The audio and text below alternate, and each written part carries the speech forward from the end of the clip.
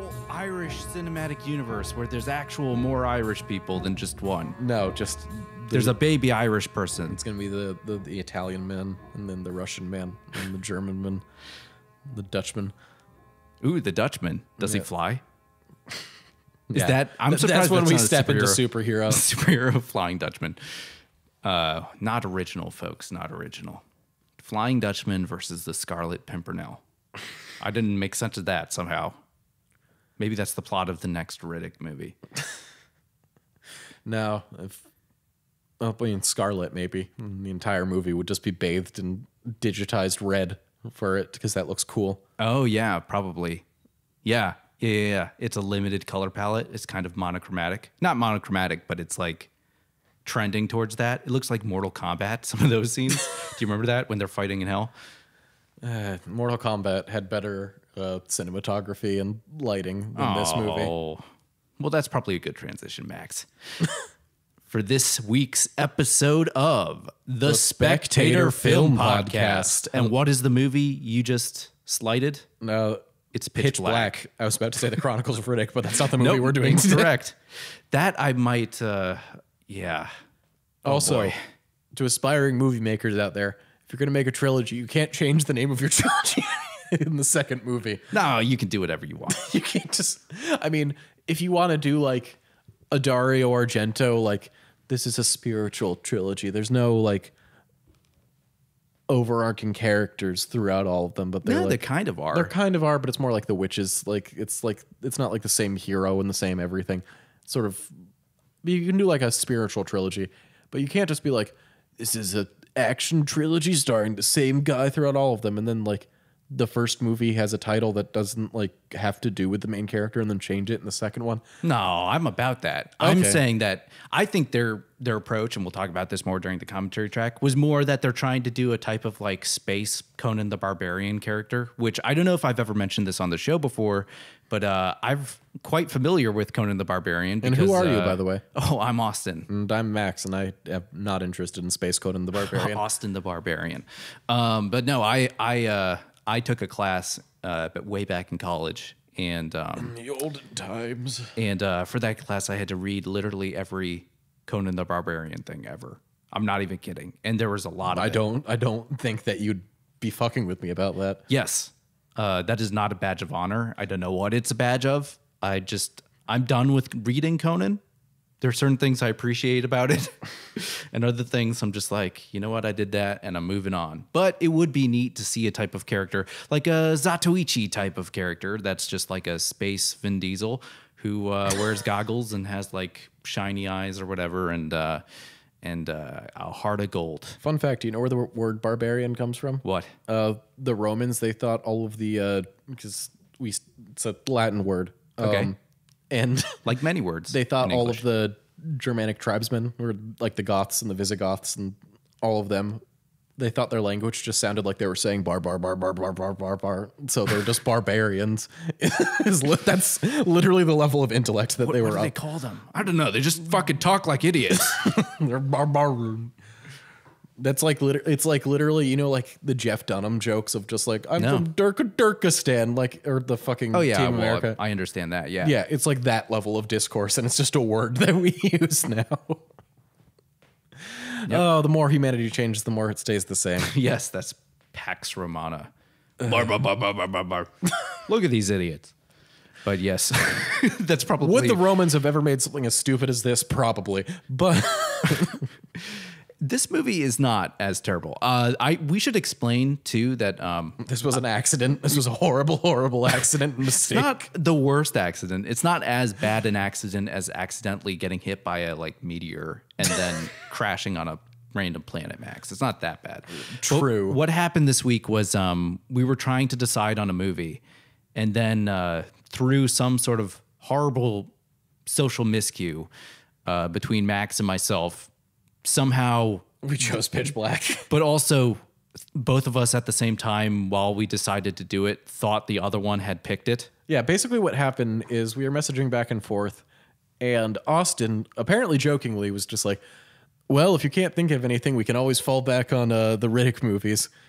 or and then he started going off on like, oh well, or we could do this. I'm like, oh, so the Riddick thing is something that he actually wanted to do. And you know what? We've done stuff like Battlefield Earth and Event Horizon, just dumb genre movies before, and that's always been a fun well to go back to. So sure, Austin, I'll indulge indulge you. Let's do Pitch Black. Well, the thing was, I suggested jokingly doing the Chronicles of Riddick. Yeah. just because I'm like, oh, that that'll be a fucking fun thing to do, won't it? Um, and then you were like, you know what? We we haven't done any like schlocky action genre things in a while. Let's do Pitch Black. And I'm like, oh, he chose Pitch Black. Because when people say the that movie. Chronicles of Riddick, I don't inherently think of the second movie. I just sort of think of the series overall. Yeah. So, anyways, that's how it happened, and then we just realized that literally 20 minutes ago when we started talking. But that's okay. uh, somehow the stars have aligned to Vin Diesel won't be denied, Max. Uh, you can't stop him. Yeah. Uh, listen, we did not know who we were fucking messing with. That's what I'm gonna say. So uh, Vin Diesel put a, a hex on us, and this this is happening. yeah, he's he's uh, probably a 12th level warlock. He probably can. Oh, that's right, he is, isn't he? I, I don't know what class he plays. Um, because normally, like when I want to be like, oh well, if he's an action movie star, he probably wants to do something different. So maybe he's like a cleric or something. But no, he could, he could just be a barbarian. Who knows? Vin Diesel's a big Dungeons and Dragon nerd for the two people out there that didn't know that, and I love. I kind of love that about him. But Yeah, he does seem to be very like affable, yeah, sort of unpretentious or, you know, like standoffish person, which is obviously appreciated. Um, and also I think influences his like bizarre persona on screen, but we'll talk about that during the commentary track. Either way, that's just a long preface for saying that this movie's kind of like okay and it's kind of like take it or leave it. I think I enjoy it more than Max as uh, you don't need to think it; it's very true. and Max will confirm that for me shortly. Um, but I will take responsibility and say that this is my pick for this week. And um, yeah, I kind of enjoy this movie. I think it's very rough around the edges, but I think it's like, uh, do you know that meme of the farmer who's like, it's not much, but it's an honest day's work? yeah. It's kind of like that. That's what I think of this movie. Is like you could take it or leave it, but they made a movie and they did some things, and I'm like, oh, okay, you did some things, and there you go. But also, um, revisiting it for this week, I noticed a few interesting details about it that I think don't really congeal into something that's cohesive and um, deliberate on a part of the movie, but there are interesting details nonetheless in terms of how it plays with genre. I think it's a really neat uh, genre mashup. It is, uh, in some ways, a remake of The Birds, while also being a remake of The Flight of the Phoenix, wrapped in sci fi Western trappings, which is interesting. And uh, we can elaborate on that more in the commentary track. But uh, I think its strength is mostly in its premise and. Uh, and it has some interesting performances in there, specifically with Radha Mitchell and then Vin Diesel being simultaneously boring but also weirdly compelling in bizarre ways. Um, but yeah, I, I think it's a mostly harmless movie, and it's just a straightforward take it or leave it sort of genre romp. Do you and wanna- that's totally okay. Do you want to explain your history with it before I talk about my opinions on it real My quick? history with it. Do you have a history with this movie? Do you want to explain? Oh, are you okay? I thought you were referencing something No. specifically. I mean, I don't even remember when I saw this for the first time. Yo, same. Um, okay, so my side. Yes, please continue. Um, I believe, like, I, I know I've seen this and the Chronicles of Riddick in the past. Um, those movies had evaporated from my brain, probably for the better. Um, one of the reasons I agreed to do this is next to my super expansive collection of movies, my roommates have started putting the movies they own on my shelf I have in our communal living space.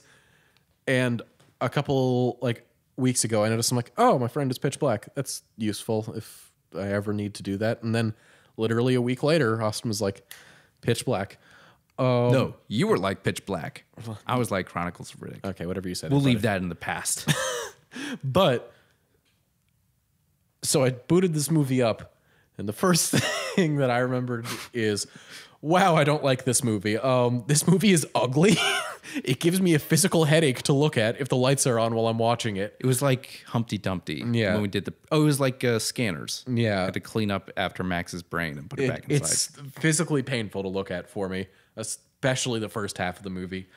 I get what they think they're going for, but it's very badly executed and super ugly. It is pretty garish. Um, as far as characters in this movie, it doesn't take me long because there are none. Most 90% of the cast is meat for the meat grinder, so the movie never feels compelled to develop them, so I care about when they get torn apart by evil monsters.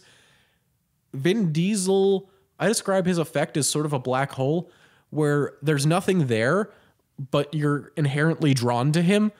You're just, whenever he's there, your focus is voomp to him, but there's not much there. I don't hate him as an actor or as a person, and I think he can be slightly charming, and some of the one liners he delivers in this are endearing.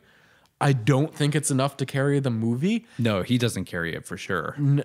And listen, Keith David's in this, and I love myself, Keith David. He's very charming and enjoyable, and has a smooth, velvety voice that warms me over whenever I hear it. But But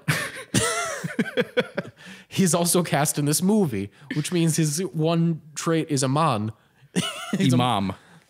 His name is Imam. His No, no, no. His job is Aman. No, no, no, Max. The job is Imam, and they refer to him as Imam. I've I don't know what the fucking deal with that is. I don't know if that's a norm. I'm. I don't know enough about Islam. he's a Muslim. like- he's a Muslim cleric, basically. But Yes. still, like, and they only refer to him at, by his clerical title. But regardless of that, It's its own thing. it's stupid. Yes, it is quite stupid. Nobody is developed besides like, not even Riddick, but like we have drug addict cop and pilot who had half of her character arc cannibalized by Vin Diesel because they realized they needed to have him do something in the movie besides kill monsters. I really don't like this movie. I it has the setup of a movie I'd like. I tend to like space westerns. I tend to like sort of sci-fi movies on less grand scales and also to comment on a recent trend in sci-fi. I listen, I like The Martians, Interstellar, Armageddon, like all like the fucking like high concept what if aliens are a different form of consciousness, like that kind yeah, of like shit. a premise to it. Yeah. yeah. Um I like high-minded sci-fi, but also like in modern sci-fi, like outside of Star Wars, it's the only shit that we get now. Yeah. So I am kind of nostalgic for like small scale, like just a Genre sci-fi, yeah. yeah. A spaceship and their crew on not wacky adventures, but just like adventures or in a predicament or something like that. But Some sort of premise in a sci-fi. it's why I thing. enjoy, yeah. like if you go back to our Event Horizon episode, it's why I genuinely enjoyed that movie. Although I think that that movie is definitively better than this one. Yeah. too. yeah. But also, we're giving credit to Paul W. S. Anderson, so let's not dwell okay on that with too that. far. I don't have anything against him really. Uh, I've been forced to watch every Resident Evil movie, so you, Okay. you have a less of, less of a horse in this race than I do. Well, you should get revenge.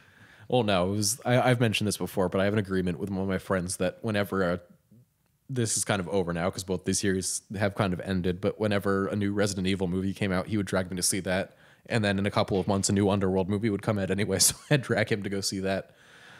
Um, so it was we were kept in constant balance. Although, I'm going to make another Resident Evil that's a continuation just to spite you. well, that's the thing. There's already more Resident Evil movies than there under, are Underworld movies. So Wait we- a second. Didn't they finish it? Yeah, they finished both of them. Um, But they're doing more? I don't think so. Oh, I thought you just said they're making more Resident Evil movies. They said there's more Resident Evil movies than there are Underworld movies. Oh, okay. So you're already behind the eight ball on that one.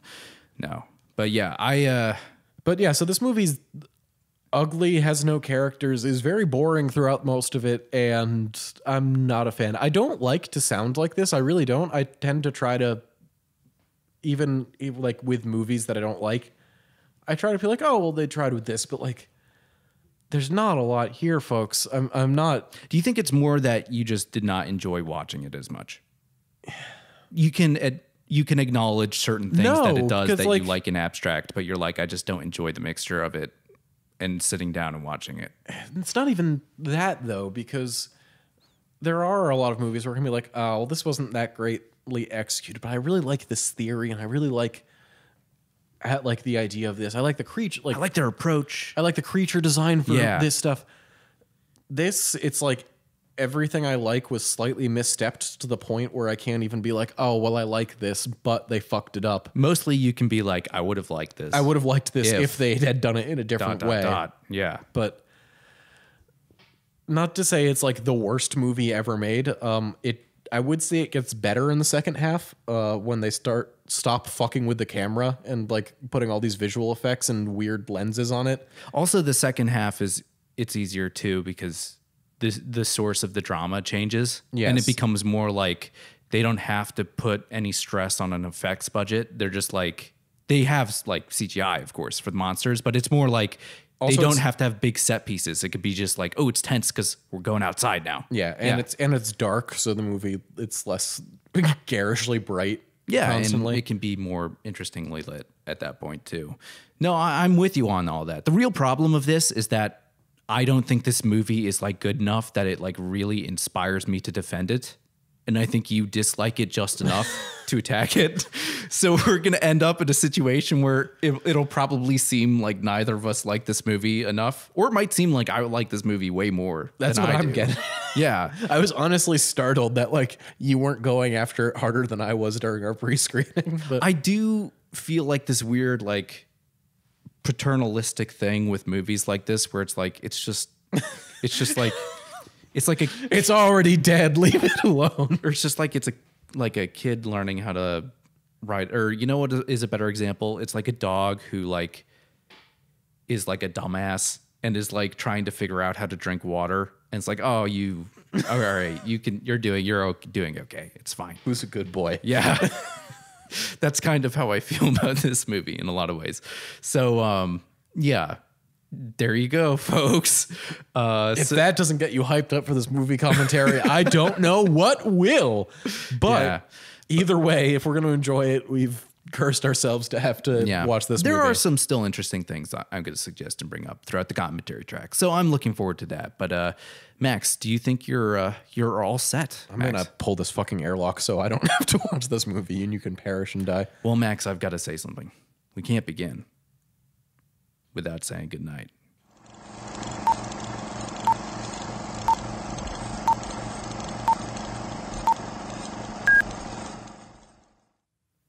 Oh boy. Here we go, everyone. Sorry, I had like a lot of energy going into this, and then as soon as the logo came up, I'm like, oh, we're watching the movie. Just pretend it's Jurassic Park, at least for the next three seconds. oh God, I guess you can't because the Universal logo tag has a website. Let's go to universal.com to order our hot new DVDs that we can get sent in the mail to us. Yeah. Well, anyway. Here's our middle of the road response to this movie, everyone. Exactly what we said it would be. Oh no, I'm I'm gonna have to. I have to wait for the movie to start to before like, because I just don't want to. Re- Yeah, take it easy. You know what? Okay, Max, this movie can't defend itself. It should be able to. Good movies can by just merit of existing. Um, I like this spaceship prop. It's cute.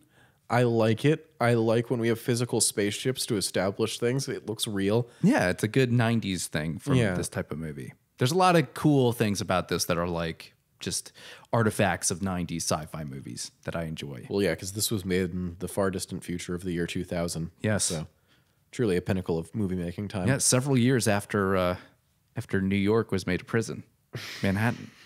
Oh, I love the digital lens flare. That's so hilarious.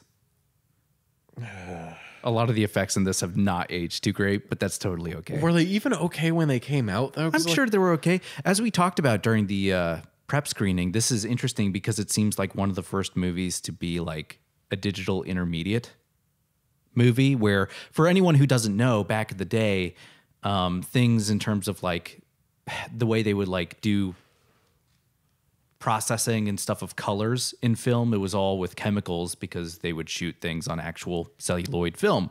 And you would have to then bring that film to be developed. And then, depending on the type of film you shot with, or your camera, or uh, how you developed it with the whatever mixture of chemicals, it would maybe change the color of what came out the other end, right? And uh, starting in the year 2000, specifically with the movie "Oh Brother, Where Art Thou?" Where Where Art Thou, directed by the Coen Brothers, it changed. And what they would do is they would load up the film they shot onto what people called a digital intermediate, and they would edit the colors in a digital editing suite. And, um, and it looked great. it looks pretty good in Oh Brother Where Art Thou. Yeah. I I don't know if this movie used a DI. It just really looks like one because they just look like they did a like a blue filter over everything and then like a red filter. You know what I mean? And it looks like that's the way it was with like a few movies in the very first year of DI and then Lord of the Rings came and uh, like many other areas of filmmaking technology innovated because they had to meet meet the ma- demands of this massive movie, right? So Lord of the Rings was using DI and stuff, but it did it in a more uh, conspicuously um, artful and balanced way. But yeah, so that's maybe part of the reason why the movie looks so garish. Just so I if mean, you're looking for opening an scene is nice. We get like as much exposition on some of the characters as they'll get the entire movie. yeah, he can smell. He smells the woman's um, boots and pants. And Tool belt. which made me revisit that uh, West Hills viral commercial. Have you ever seen that? No. I'll show you that after. It's great.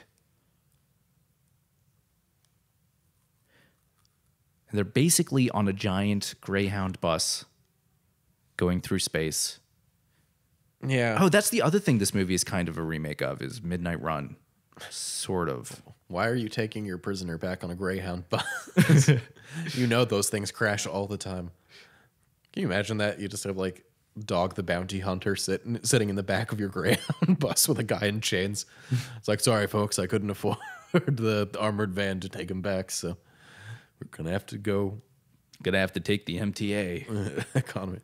Well, if it's MTA, then that's 100% crashing on the way. Right? this is what happens. That's The- just part of the- This this ship is part of the MTA. Yeah, that makes sense. Yes. Uh, uh, MTA jokes. They never get old, do they? Yeah, to all of you outside of the, The tri state area. Congratulations, you don't have the shittiest fucking train service in the U.S. Maybe there is one that that's worse. I don't know. I don't know, but for a major railroad that is supposed to go to the city 80 bajillion times a day, when you have a safety rating of a solid D, then maybe you need to. I think it was a D minus actually last time. Maybe, maybe fucking Could be worse. Step your game up. Technically. Well, if they fail, they get shut down. So no, it couldn't be.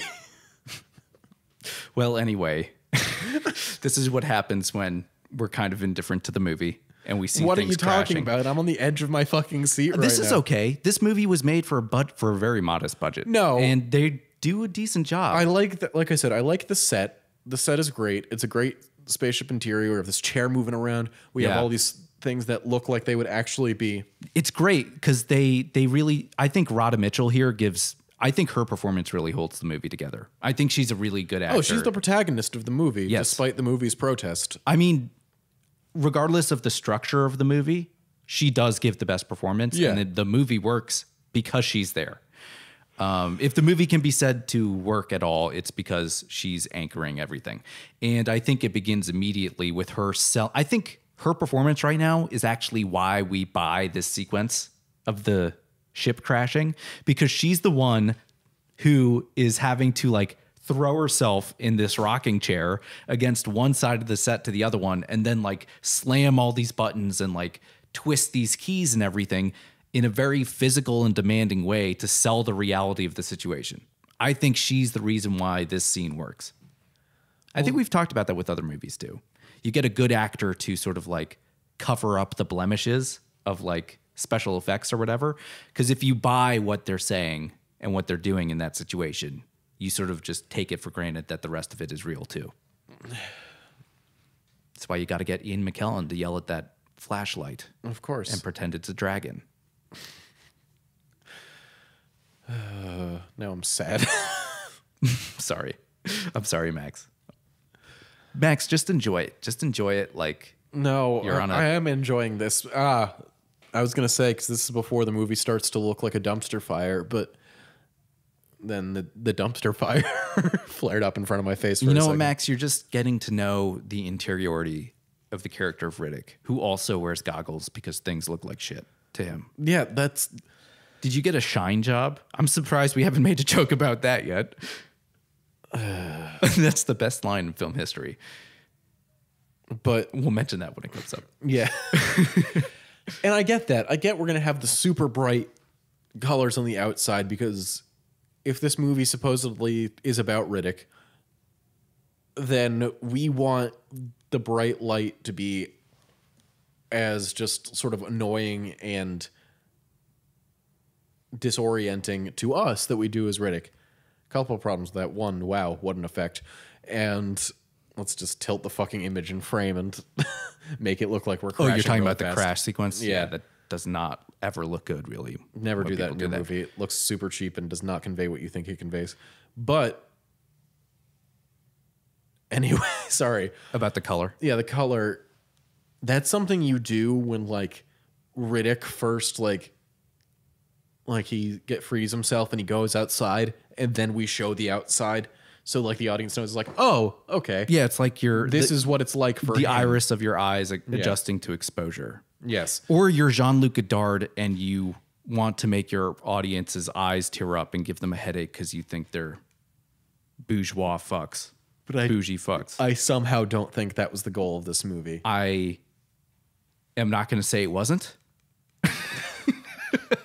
I'm not going to say this movie wasn't. I want to give insert director's name credit here David Twohy, yeah yes, known for such other films as The Fugitive. He wrote that. okay And he also um, directed a movie that I've never seen, but have heard some interesting things about, set on a submarine. So you've got my attention there because I love submarine things. you love enclosed mechanical spaces movies those I are do. your cup They're really tea. good. They're really good, Max. Uh, and um, what else he's done? The Chronicles of Riddick, of course. And then he's done the whole saga, I believe. He, he did direct Riddick, the Riddicking. Yes. The Riddicking. That's like the quickening or something.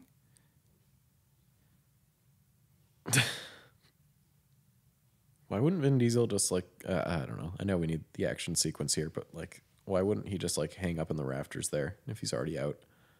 I don't know. Maybe he's tired. Or maybe he just thinks it's funny. I got you. That's an interesting thing about uh, Vin Diesel's persona that I'm going to elaborate on like a little bit later. But I feel like he is definitely uh, a little bit at odds with his character archetype that he's embodying uh, in ways that I find charming, kind of. Um, but let me begin this opening sequence when we're when we're um, pulling everyone out of the wreckage. I'll begin with my little like pet thesis for this movie that I developed. So I think this movie is mostly a variation of the premise of the birds, right? Where the birds attack people for it's inexplicable. No one understands why, and the movie never makes any sort of attempt to uh, understand why or find an answer as to why the birds are have decided to uh, unite against the humans. And this movie is kind of like taking that premise and then rationalizing that inexplicable element of the birds using sci-fi trappings. So it's like, oh, okay, so now it makes sense because it's the species that comes out at night and now the, you know, eclipse is happening, so they're coming out. That's why the irrationality of the birds attacking makes sense in this sci-fi premise. And then what it does is it's like, okay, so how do our characters get there? Oh, it's a Flight of the Phoenix movie too. And then okay, how well, who are our characters? Oh, they're Western archetypes. We talked over it earlier, but then as they were um, as Riddick was introducing the movie in his voiceover, uh, all the characters he talks about are sort of stock characters that you will also find in older Western movies. So this movie definitely relies on that type of um, uh, design for its characters, and also just the landscape and the way uh, our, our narrative will be moving through it is very much a Western type of story where uh, those movies are very much related to themes of like wilderness versus civilization, but also like the future of civilization, right? Written in microcosm on the interactions of our characters Yeah. and then how that reflects on the future, right? That's why westerns, um, in their classical stage in film history, are very much about like romanticizing and mythologizing, uh, mostly American history. I'm not exaggerating. I'm literally already getting a headache from looking at this movie. You got to get those goggles, man. I know. I should have brought. I'm sure I still have. You should tweet at Vin Diesel, see if he's got some extra. I was gonna say I probably still have some embarrassing yeah cyber goth goggles somewhere deep in my closet, but um, oh, you think you already had some already? Oh, I Oh man, have I not shown you that picture of me from high school when I had bleached blonde hair and purple cyber goth goggles? Is it as bad as that compositing? Uh, it's pretty bad. Uh, I think you should make that the uh, the uh, cover of this episode. we'll see. I'll just Photoshop you onto like Vin Diesel's like ripped body with a quote. He did not know who he was fucking with. Oh Jesus Christ! Um, so we're introduced to our characters. Um, they're all thanking the captain or the temporary captain because they think she saved them, despite her ready to fucking kill them all to save herself. The perceived captain. Yes. They think she's the captain. Mostly because she authoritatively saved them and they just assume she must be the one in charge, right? Except for Johns. Yeah, but shit. we have uh, discount David Tennant, who I know David Tennant. I don't think had started his tenure on Doctor Who, which is really kind of what skyrocketed him into the public consciousness. But like, would have been much more charming to have him in this role. This guy's a little bit too old. Yeah, Yeah. um, and David Tennant was probably too young at the time, but Yeah, he was like a fetus. Come on now. I wasn't a fetus, but um, well, it grows very quickly. but a, a more charming actor, especially like when you have people like Keith David as other side characters. I will agree with you that really the writing is so thin with some of these characters that if you had better actors in there, it would probably go a long way into fleshing them out and making them feel like, you know, they're a little bit more lived in than they are otherwise. Or at least directing the actors you currently have Yeah. to in a different way to really uh, get that out of them. Ooh, okay. As somebody who has dislocated one of their shoulders at least a dozen times, this scene is always just like, really, dude? That looks like a digital effect too. it is. Yeah. There's no like, I mean, there's no fake way that you can. Oh, look, I dislocated my shoulder, but it's only for the camera. Yeah, no, that's 100% what that is. Um, and he's gotten away already because you can't stop Vin Diesel. you can't stop the Riddick. But yeah, My I mother can't stop the Riddick. what? Dad can't stop. I mean, can't stop the funk. No. Oh, okay. Yeah. All right, good. Darn it. Oh, please just stay inside. Maybe maybe this movie is telling us that we're the real flying death monsters because we can't stand the light either. Ah, that too, Max. That too. It's really deep. So this is probably a good time to uh, further elaborate on my thesis, because Okay. again, as with much of this movie, uh, not much is going on at this given moment. But I think um, the interesting thing with this movie is that it takes some of these archetypes and it just by contrasting the western with the sci-fi it uh, it places them in a new and kind of interesting context which is why i appreciate the premise Okay, just give me one second. You keep talking about your premise. I am going to get up and turn off the lights around. oh yes quick. you should probably do that if it's going to keep you from like your head exploding because i don't want to clean that up again uh, but basically what happens in this movie is it takes the western and combines it with the sci-fi as we have said. Now the western as we were just talking about is very much about mythologizing a certain sense of uh, america's historical past. And it is not the real historical past. It is again a specific vision of it specifically how it relates to uh, society at the time in the 20th century. And uh, it's very much about like looking at the frontier space as like a land It's freedom. yeah, it's representative of manifest destiny. It's a space that allows you mobility and agency, right? And also just agency in regards to your future. You can decide how you are going, how the society out west is going to behave because you're the one staking the claim, right? Yeah. Of course, this ignores the presence of Native Americans. That's its whole other conversation. But in terms of No, how, it, it's not about what actually happened. It's about what it represents. Yes, exactly. That's that's exactly the way to put it. And of course, when you take a sci-fi movie, at least this type of sci-fi movie, the spacefaring sci-fi movie, in many ways it's the opposite of that, right? Where it is like a reverse of that and it's kind of like a mythologizing about the future. And both of them relate back to the present in their own specific ways. And the interesting thing about this movie, and I guess a lot of sci fi westerns in general, is the idea that you are actually combining them into one, where it relates both to the past and to the future, and then both of them together somehow connect to the present. And I think a really good uh, way of sort of examining this movie in that regard is just thinking about the Riddick character. Whereas I feel he is a variation on the Western, the Westerner gunslinger archetype. And I'm going to mention a uh, essay in the show notes written by uh, our good friend Robert Warshow, who wrote a uh, really great essay on the gangster film that we mentioned in our Scarface episode.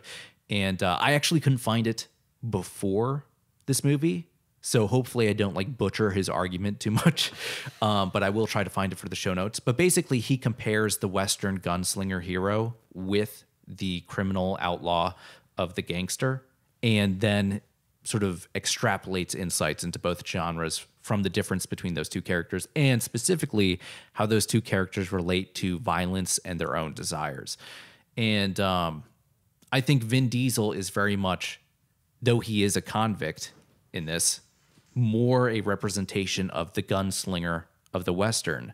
And I think the movie plays with that in a kind of interesting way where this romanticized, rugged individualist in this future sci fi context is criminalized. Very much for some of the things that would have made him a romanticized hero in a traditional Western. Yeah. And definitely, Look at this blue. it is really blue. It's like very so was blue. this a stylistic choice? I, I mean, technically, yes. Or did they shoot this? and it looked really bad with all the CGI skeletons they put in, so they put a blue filter over it. Eh, maybe. I mean, I don't know why that would make it better. It's a slightly cooler temperature. Uh, Maybe it's less jarring to look at. It's actually a warmer temperature, but also like, um, I don't. Yeah, I feel like the thing is with color like this, I'm not sure if CGI like composites. I mean, in- this- into a frame fit better if you limit the colors. I'm not like a, a like a CGI artist or anything. I know w- it makes sense with rain because that is like atmospheric disturbance that sort of adds layers and a sense of depth to a scene. So if you have something going on like that, it can maybe sell an like a CGI composition that you're putting into the frame a little bit better with a real space as well because it looks like oh they're actually in the same space together because there's rain on both of them. You know what I mean? Yeah.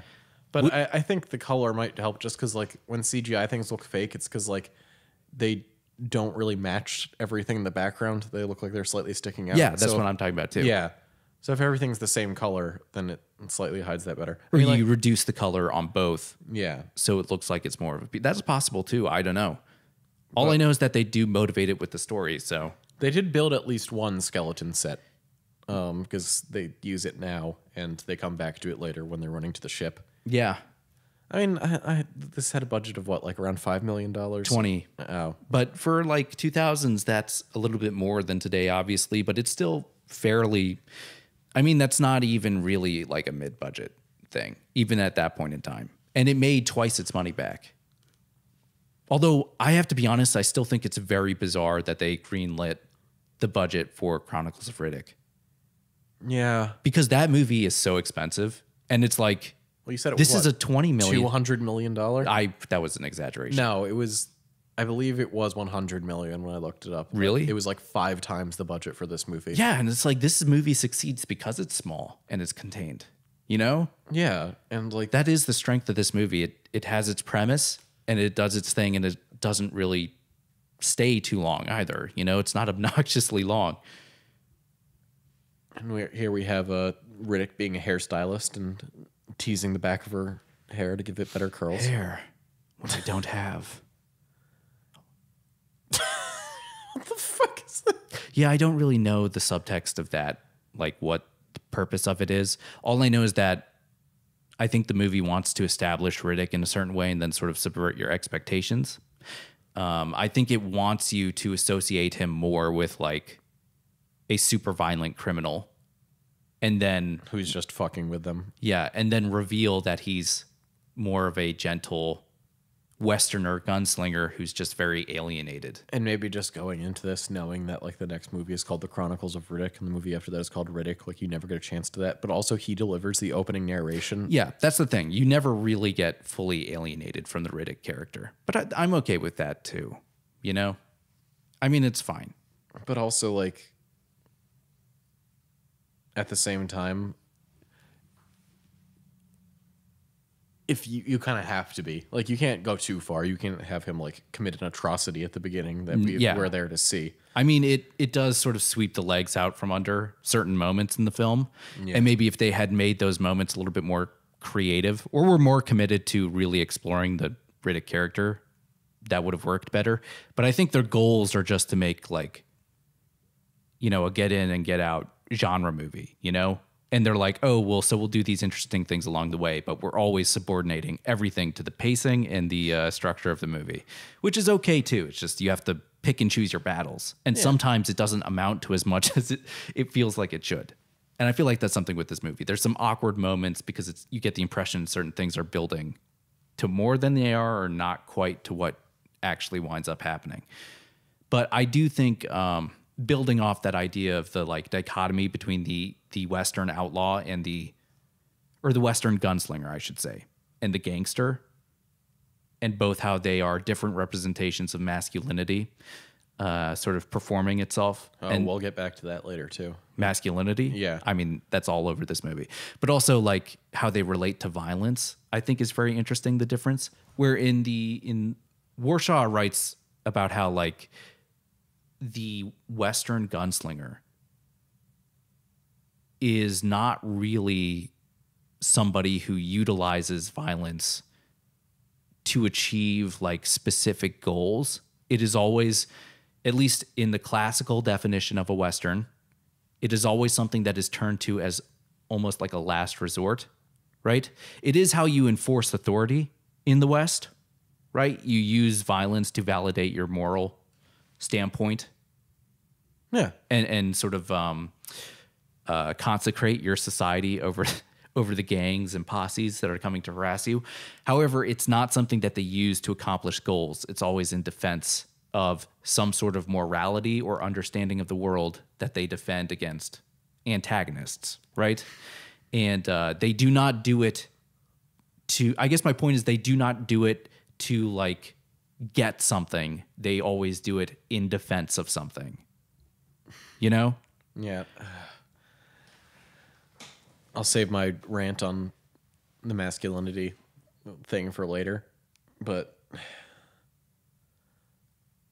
i guess like my problem with this early on in the structure is that we know riddick's gone but we don't really like have any reason to assume that he's stalking them because we know that he's not really going to be the same but also like even vicious if we killer they think he is. even if we didn't know that, I, we would assume as somebody who went to all the effort of escaping that like he would try to be running away by now.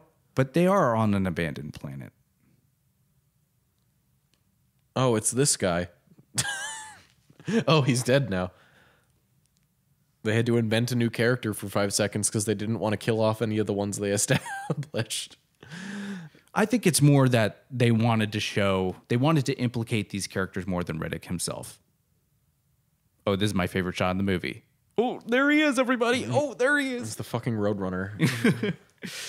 oh my god. I like that though. I wish this movie leaned into that more because I think Vin Diesel is way more like funny than he is intimidating.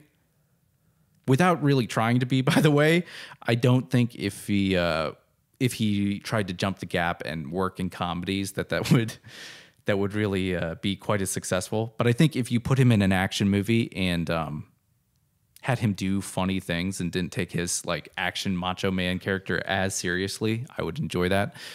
Um, but yeah, that's probably why I like that moment a lot. The one thing I really don't understand about this movie though is this moment where why why are you digging in this hole? They What were- is the point of this? Well, they were burying all the bodies from the people who didn't survive the crash. Then why do you gotta do that? It's deep enough already. Well, I think he heard that like open And now he's like, how did this hole get here? That's what I do every time I hear a noise on an alien planet. No, no, and now uh, what was his name? Zeke. Yeah. The, the the character whose only personality trait was saying he was an atheist when the Imam said something innocuous about believing in God. Um, now now he's dead. Well, he's also a murderer. Well, only accidentally. It's manslaughter.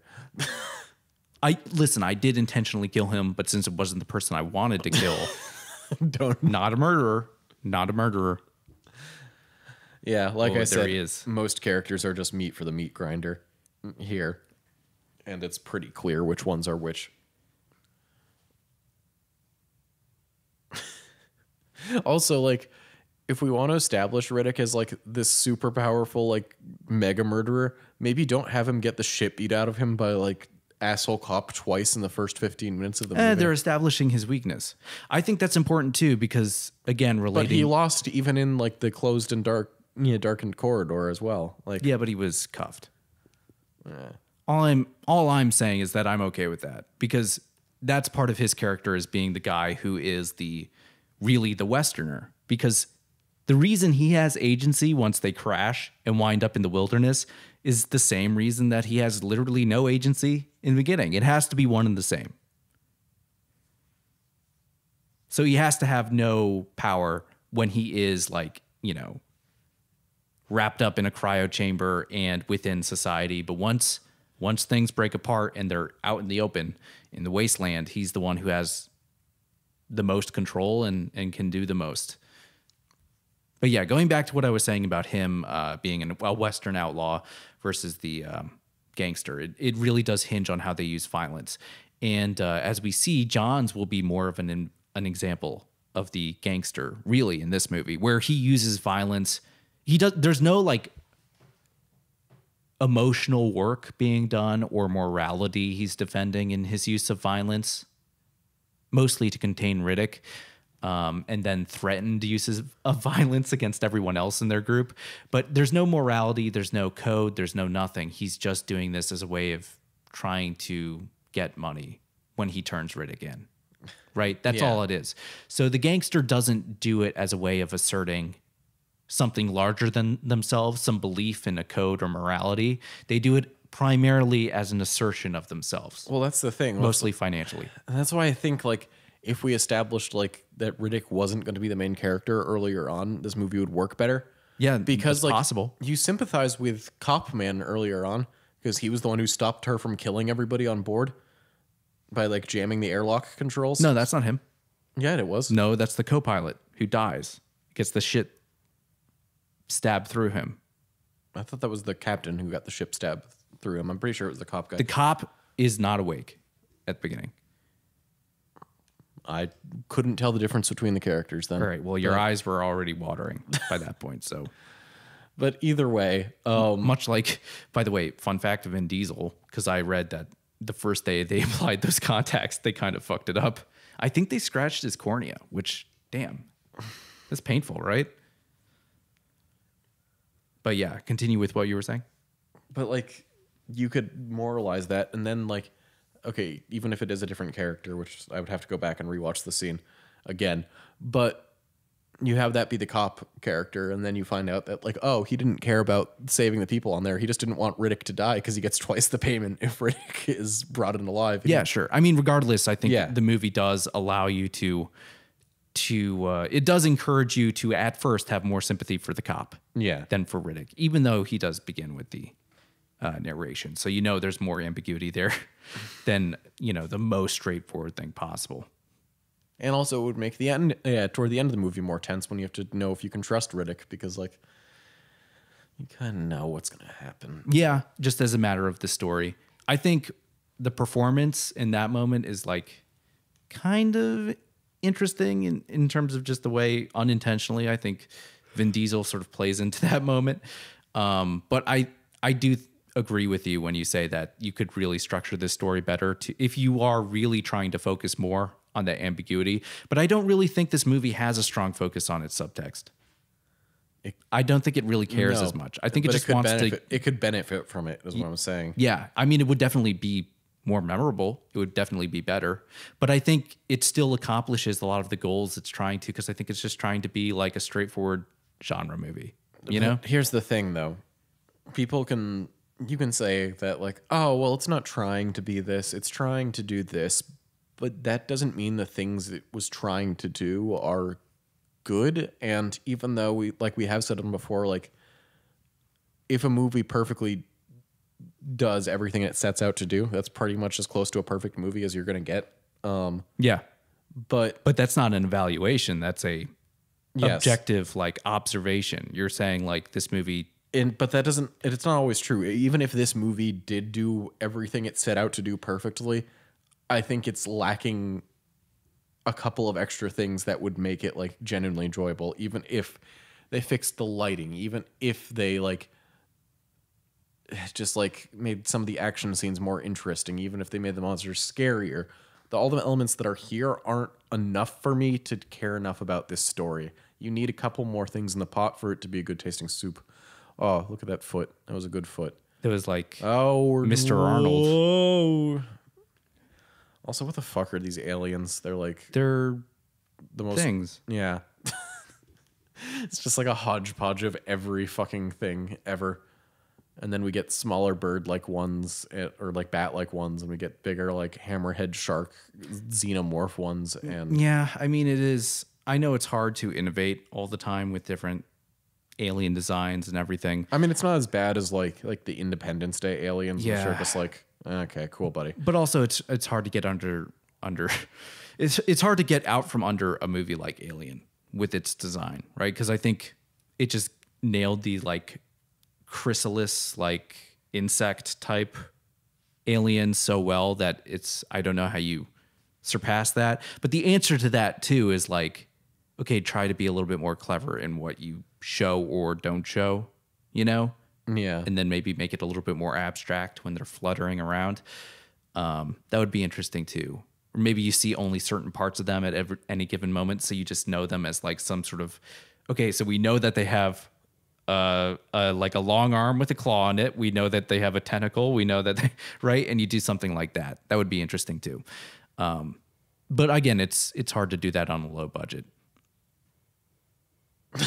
we see Vin Diesel doing his uh Yeah, PWX workout video. P90X Max. Whatever. Or He uh, your goddamn hand. It's funny to think that's exactly what he was doing. He's exercising. I'm stuck here anyway.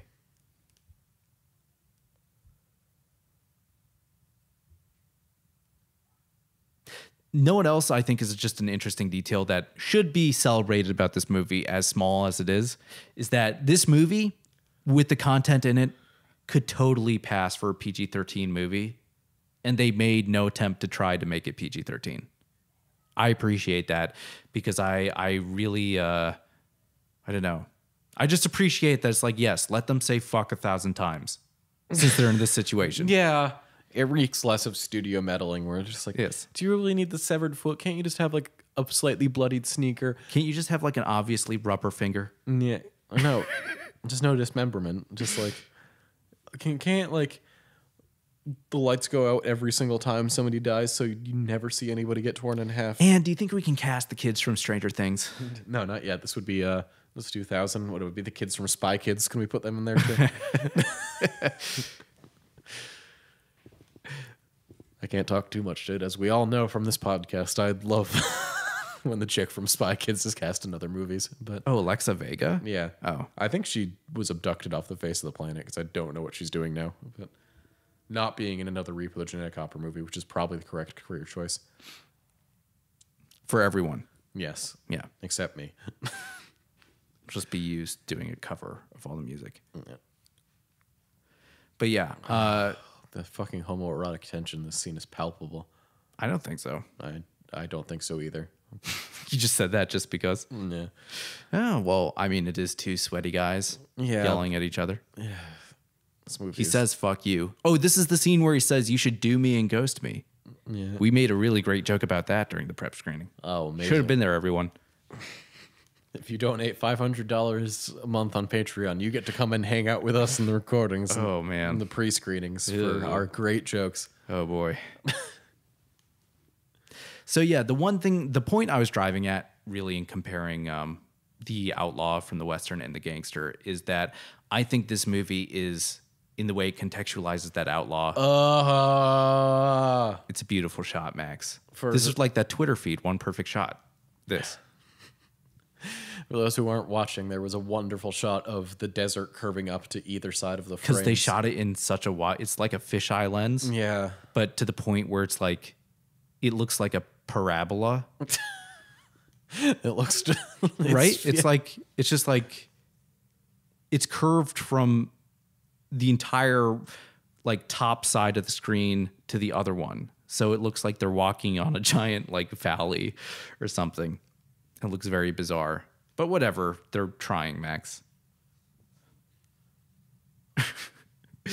i like vin diesel's delivery there richard b I like. Riddick. I think that's some of the- Murderer. I think that's some of the better facial acting we get from Vin Diesel, where like he sees the handout and he's just like, "Oh, this fucking guy's doing this." Okay. yeah like that's there are some charming things from Diesel's performance in this, and I think that's one of them. Um, Well, that's what I was going to say too about him sort of being a subversion of expectations with the convict type character is that uh he- is definitely not at all antisocial or anything.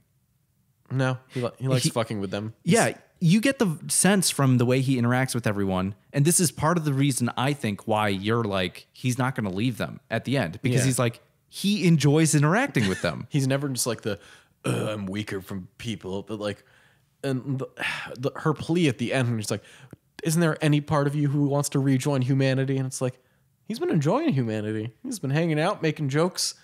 Like, I don't know if he you would say that that character has faith in himself that he could like reintegrate in the No, same but, way. like- but he doesn't hate them. he doesn't shy away from humanity. Yeah. despite his protests early on, he's like, "I'm an animal." he struggles with that relationship, but he seems to enjoy the interactions that he does have with them. especially with Jack. Um, yeah, and that's why I sort of enjoy his performance in this because he seems to be having fun. yeah. as like in that weirdly specific way. But of course, that gets to the one other big thing I um, started thinking about this movie and haven't mentioned yet, and that's whether or not you could maybe say that this movie relates at all to the type of like super predator rhetoric of like inmates in the 90s which seems may seem like it's coming out of left field but let me contextualize this a little bit more.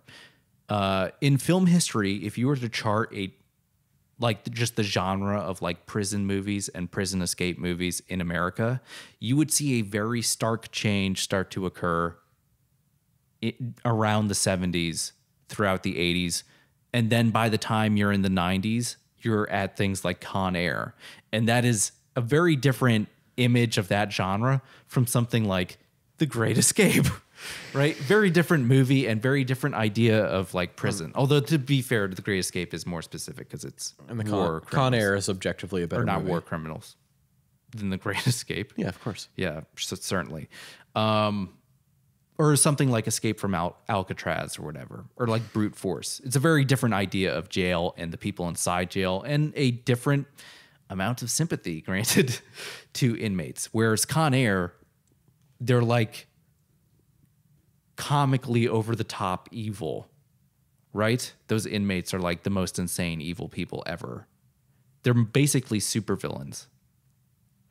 And um, I think that's something that maybe coincides with the change in like public rhetoric about how how we talk about incarceration and inmates in America throughout the 80s and 90s, and with like you know growing crime rates among uh, a certain population uh, throughout the 80s and 90s, which now 20 years after the fact, after crime rates started to really decline in the like late 90s, uh, a lot of people have started to hypothesize that there's some sort of connection between uh, leaded gasoline and violent crime. Well, yeah, lead in general. Yeah. Lead in paint, and lead in pipes, but also, yeah, this movie came out in 2000, so this Yeah, was right on the heels of that. yeah. So, I mean, at the time, there's there's not as much hindsight, and there's way more hysteria about it just publicly where people are you know freaking out about the super predators right the the type of people who um according to the the arguments that were made which were i'm assuming like by people like sociologists and everything in the field at the time talking about like i think they were discredited at the time as being kind of irresponsible but it made an impact publicly right? Um, and then of course there's the famous moment where hillary, hillary clinton talked about it too and then it made it like a real public thing right? So i think that leads to like a vilification of of inmates and that type of character in movies as well. So for this character to be the super criminal Riddick, right? The way he's portrayed and everything, he seems like a Con Air supervillain. right? Yeah. And then the movie subverts that and he's kind of just A guy. yeah, but more specifically, you know who he is?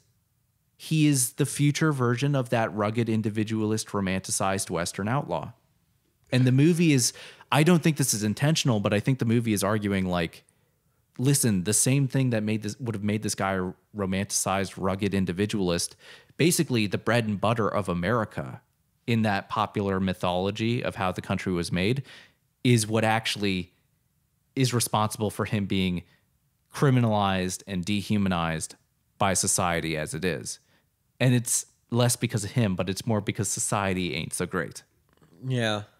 Well, he's he has his problems, but his existence points out the bigger problems that society itself has. Yeah, it's his rugged his like demeanor and his uh basically the whole reason he's actually an embodiment of that archetype at all this movie would argue is uh due to some sort of like structural inequality in this future space society right and in this world where there are spacefaring community right the society has spread everywhere and is ubiquitous there is no more frontier really No.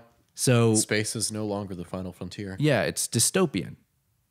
And uh, there's no, there's nothing he can do. And his rugged individualism, those traits, the hyper masculinism, is sort of a byproduct of that because that's how he survives.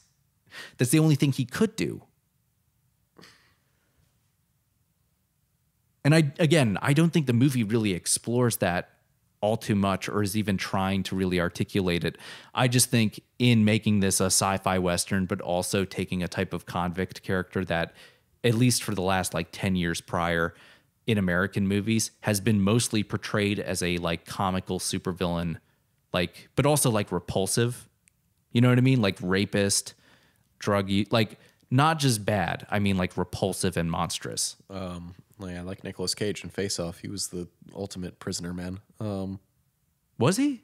kind of, yeah. He, he was a rapist. He was. Yeah, I mean, yeah, I guess. Also, I'm just sorry you said Con Air, so I'm my brain is in Nicolas Cage mode. I mean, Riddick seems like he's just so much out of Con Air. It's funny. Richard B. Riddick, escaped convict and murderer. Do you remember the scene where they're doing like the dossier of all of them?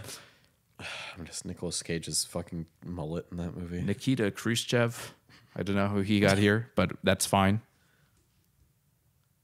Beria put him. On. Okay, not, not to be point out plot holes in this movie because I could have done 80 million already. sure. But later they're just like, we have no idea how long this darkness will last, so we can't stay here. But they stop turning the model. The Orrery. The second movie on the Spectator Film Podcast with an orrery. We'll try to keep doing RE related films just for you. Um, but if they kept clicking, they could be like, I don't know. Maybe it's a shitty model. I love this line delivery. Sorry. Where he, she's talking about the cells, and then he's like, maybe just bring him up at the last minute. And she's like, what's the fucking discussion, Johns? What's the problem? Yeah. She says fuck three times in that sentence. And it seems totally like an improvisation, but I just love.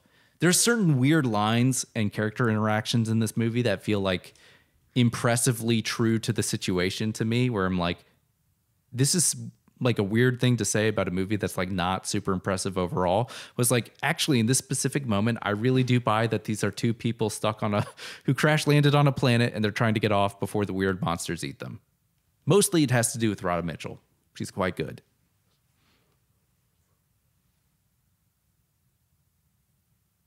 And I also think she's Australian, so this is probably something she's used to dealing with.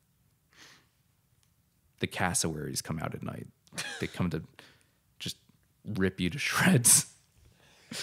What did you like? Did you watch a video of somebody like getting fucking destroyed by a cassowary or something? No, what happened was I was so obsessed with dinosaurs as a kid, Max. I can't like I know kids are obsessed with dinosaurs. No, I was too. Yeah. But um, I took it to like a new level. I just loved it.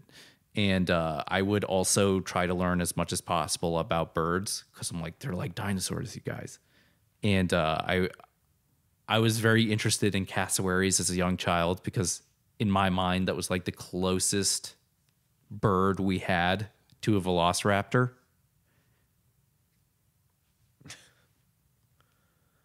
that's another good delivery by Diesel.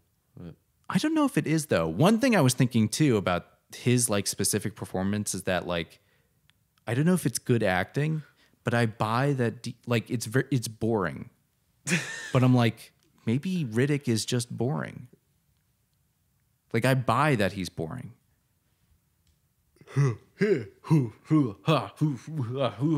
Yes, some of the editing in this movie is like that fence jumping sequence. and taken, yeah. Yeah, it's like, what the fuck are you doing? Did somebody like fall asleep? You edited this at like you just hired like a like a TD to do this like a live show, and they just like fucked up.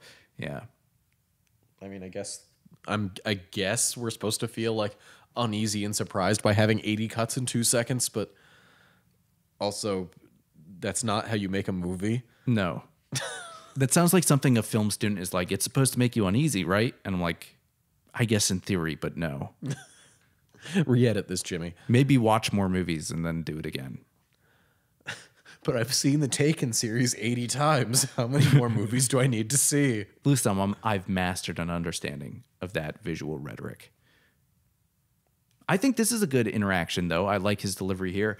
I think it's really interesting because, as we were saying, Riddick does enjoy fucking with them because I think he doesn't really know how else to interact with them.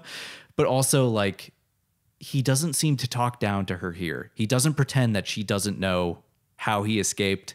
And he doesn't pretend to think, like, oh, that wouldn't make you uncomfortable, would it? He knows. And he's okay with that.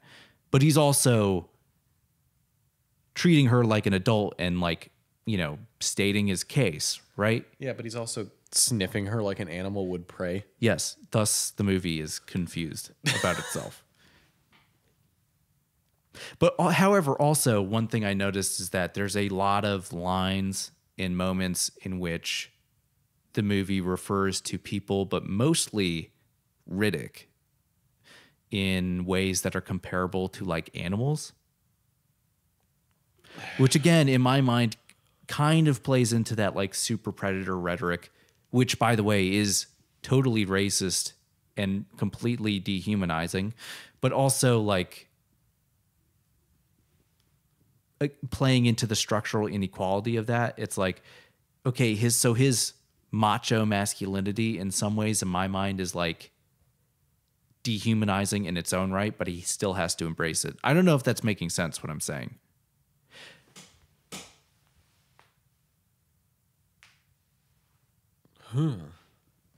But he's referred to as like an he refers to himself as an animal. Um, later when they're talking about or no earlier when uh, when he's like you're missing the party, come on.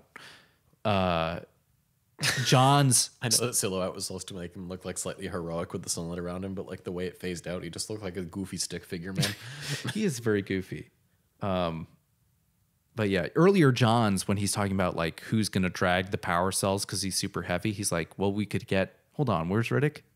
So he's looking at him like a pack mule, yeah. right? And there's numerous other lines where they refer to people as like pieces of meat or whatever, in in a way that's kind of interesting. But I do think the movie associates Riddick's very hyper masculine traits with as something that's like a byproduct of just him being dehumanized, but also responding to that in a way where he becomes a certain thing in order to survive, which includes, of course, surgically changing his eyes. Oh, we missed that line about the shine job. God damn it. I don't care. Um, Hashtag I thought- shine okay. job. this is something that annoys me just as a a Chekhov's gun type thing. What? So we established that he keeps the morphine that he's addicted to in shotgun shells in order to transport it because he has a shotgun. So Yeah. so what I thought was going to happen is we're going to have his addiction literally come back and bite him in the ass. We should shoot the. And he, no, he's going to like try to load one of those things and it's going to like Ah. break inside the gun and it would have literally just been like, "Oh, look, your addiction literally came back and fucking screwed you over." See how it wasn't making you better? That's the thing like you don't show morphine inside shotgun shells if you're not going to have those fucking loaded into it later. Or you don't show a gun itself if they don't use it later. Yeah. Which they don't. So basically, Chekhov put that gun on the mantle, and David Twohy walked up and said, fuck you. Yeah. And then just like nailed it to the wall. it's not coming down. You can't use that later. It's just you don't set up like cool little things like that if you're not going to do anything with them. I, although I don't know if there's a um uh, some sort of moment like that in the extended cut. I know in the extended cut. I don't cut, care. yeah, it doesn't really matter. If it wasn't a big thing, then like you didn't pay it off properly, and if it's not in there, then my statement still stands 100%. I mean, they give it this close up and everything, so you're like, oh. I mean, even him being a drug user in the first place doesn't really do anything other than to, Make him seem less sympathetic. which also is kind of a reactionary Yeah, thing in and of itself.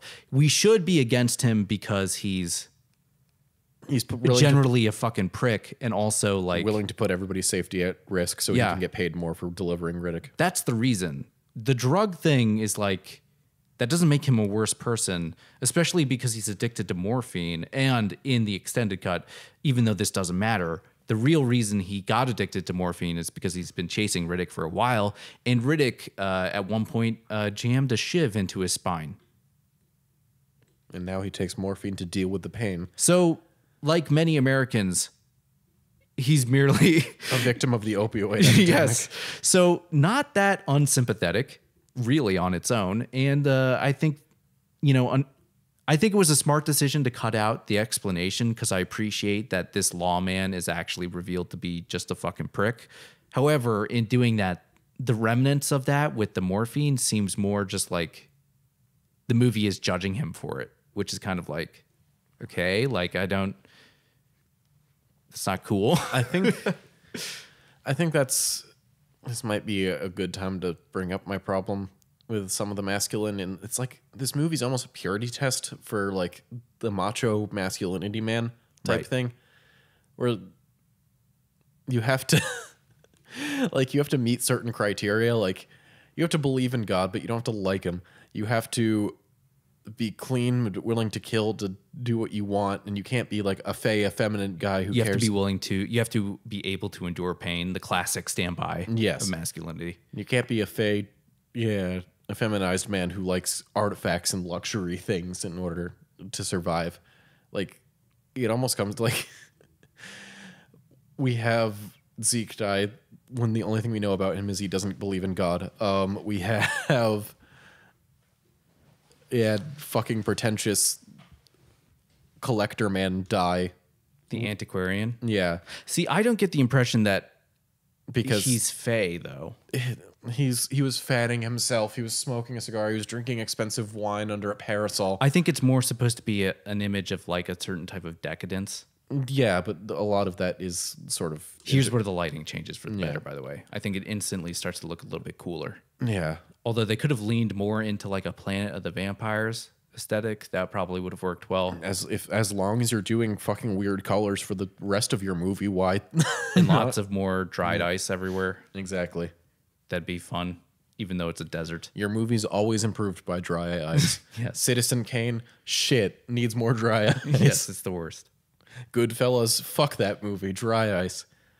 That's actually why uh, Martin Scorsese called the Mar- Marvel movies not real cinema. Yeah, there's no dry ice in Yeah, any of they them. They suck. They use CGI smoke, which doesn't look as good. No.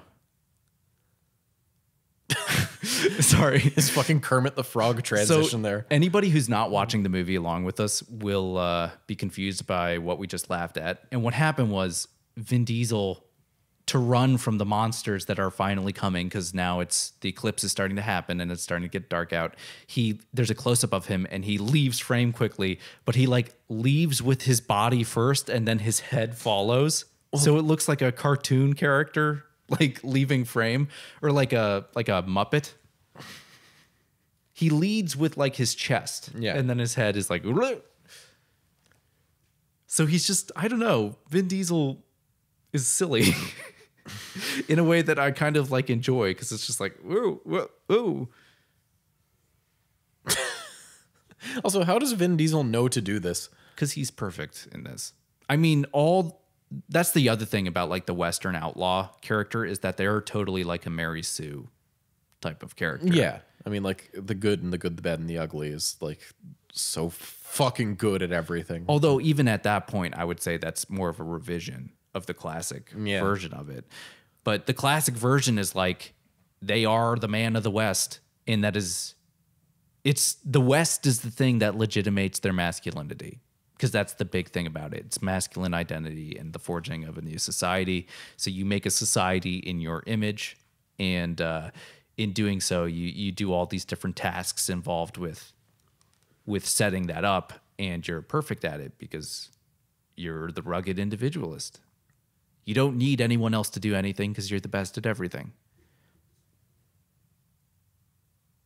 Unless it's a feminine sort of thing, Like liking like being kind. being kind or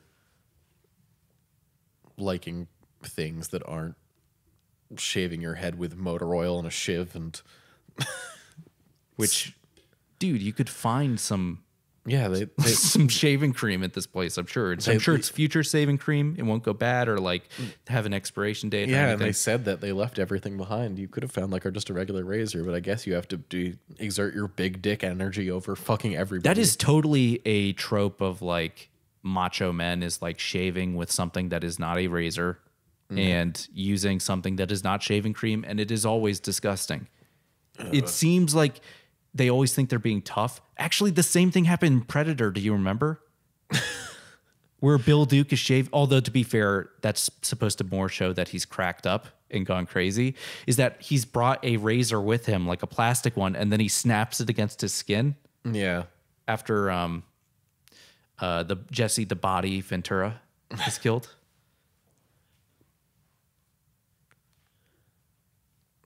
sorry i'm just thinking of like i don't have time to bleed Goddamn sexual tyrannosaur.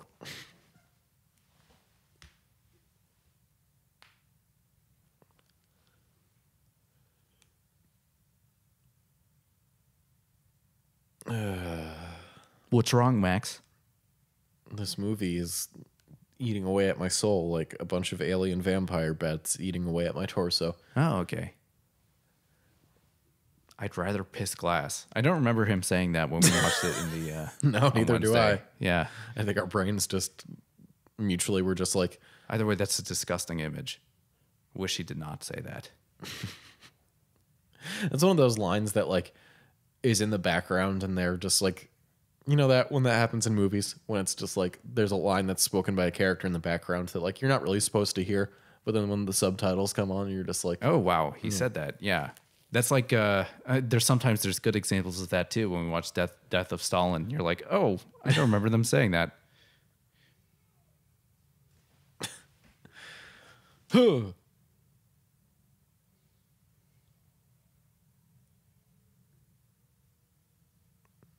Jesus Christ. What? so many cuts just like you don't just because like nothing is currently dying doesn't mean you need to cut around a bunch to keep the audience entertained That's the other interesting thing about this movie is that it sort of feels like an action movie because Vin Diesel is very much the spitting image of that like '80s hard body masculinity. but he, he's also like There aren't a lot of action scenes. no but like he's reminiscent of like this era like the rock like the just like big bald muscular and not a lot i mean the rock is genuinely more enjoyable when he's on screen but he's not a great actor i'm not gonna see i don't know Well, uh, that type of yeah that type of like Hollywood actor is like very much there for their persona and a certain type of charisma that they bring from role Yeah. to role, right? And they can be very good in doing that. But I feel like it is definitely like a different standard through which you evaluate their performance almost. Um, however, I, I do think it is it is very much like that lineage of action hero, except this movie doesn't have action scenes in it. It's just sort of walking scenes, which is why it is really relying on that Western structure because they're just moving through this empty landscape and then talking about how they're going to do it, right? It's really them versus nature is ultimately what this movie is. And uh, it, it feels like an action movie at different moments in between. Or there are scenes of action, right? And unfortunately, this poor boy uh, does not speak English. Is And, that what it is? Yeah, no, no, no. None of the kids speak English. So Vin Diesel is like, don't move, buddy, don't move. I thought it was just that he failed Vin Diesel's masculinity test. No, he can't understand him. That's slightly more sympathetic than. you were just a fucking pussy, so you didn't get to live along with me, Mr. Manly Man Vin Yeah, Diesel. no, I don't really get the impression that this movie is a um Ooh, that's a really brutal kill too. He just gets like sawed in half. I don't really get the impression that this movie is like a um oh, here's my favorite moment coming up too. Uh for some reason I'll interrupt myself. For some reason, this moment where Vin Diesel gets flashed in the eyes with the light and the way he screams, watching the movie this week, I just kept rewinding it because it kept making me laugh. It almost looks like an outtake, but like it's just in the movie. just the noise he makes. He's like, "Ow." I don't know why I find it so funny. And then the body language too. He's just, I understand what it sort of is, but the fact of Vin Diesel doing it in the way that he does is just amusing to me. and not in a way where it's like so bad it's good. It's just like, well, that was kind of awkward, wasn't it? but yeah, I, I was going to say, I don't really feel like this movie is um, some sort of like, I don't know, ritualistic purge of everything that isn't uber masculine.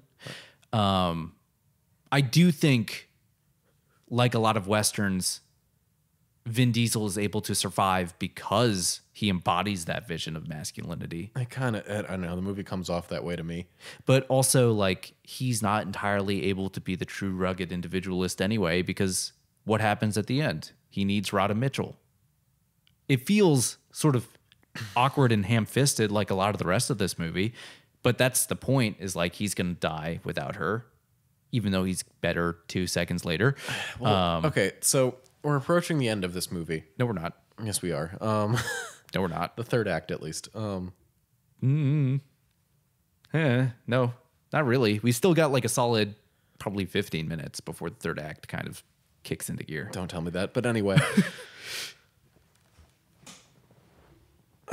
We are well into the premise part of it. Right?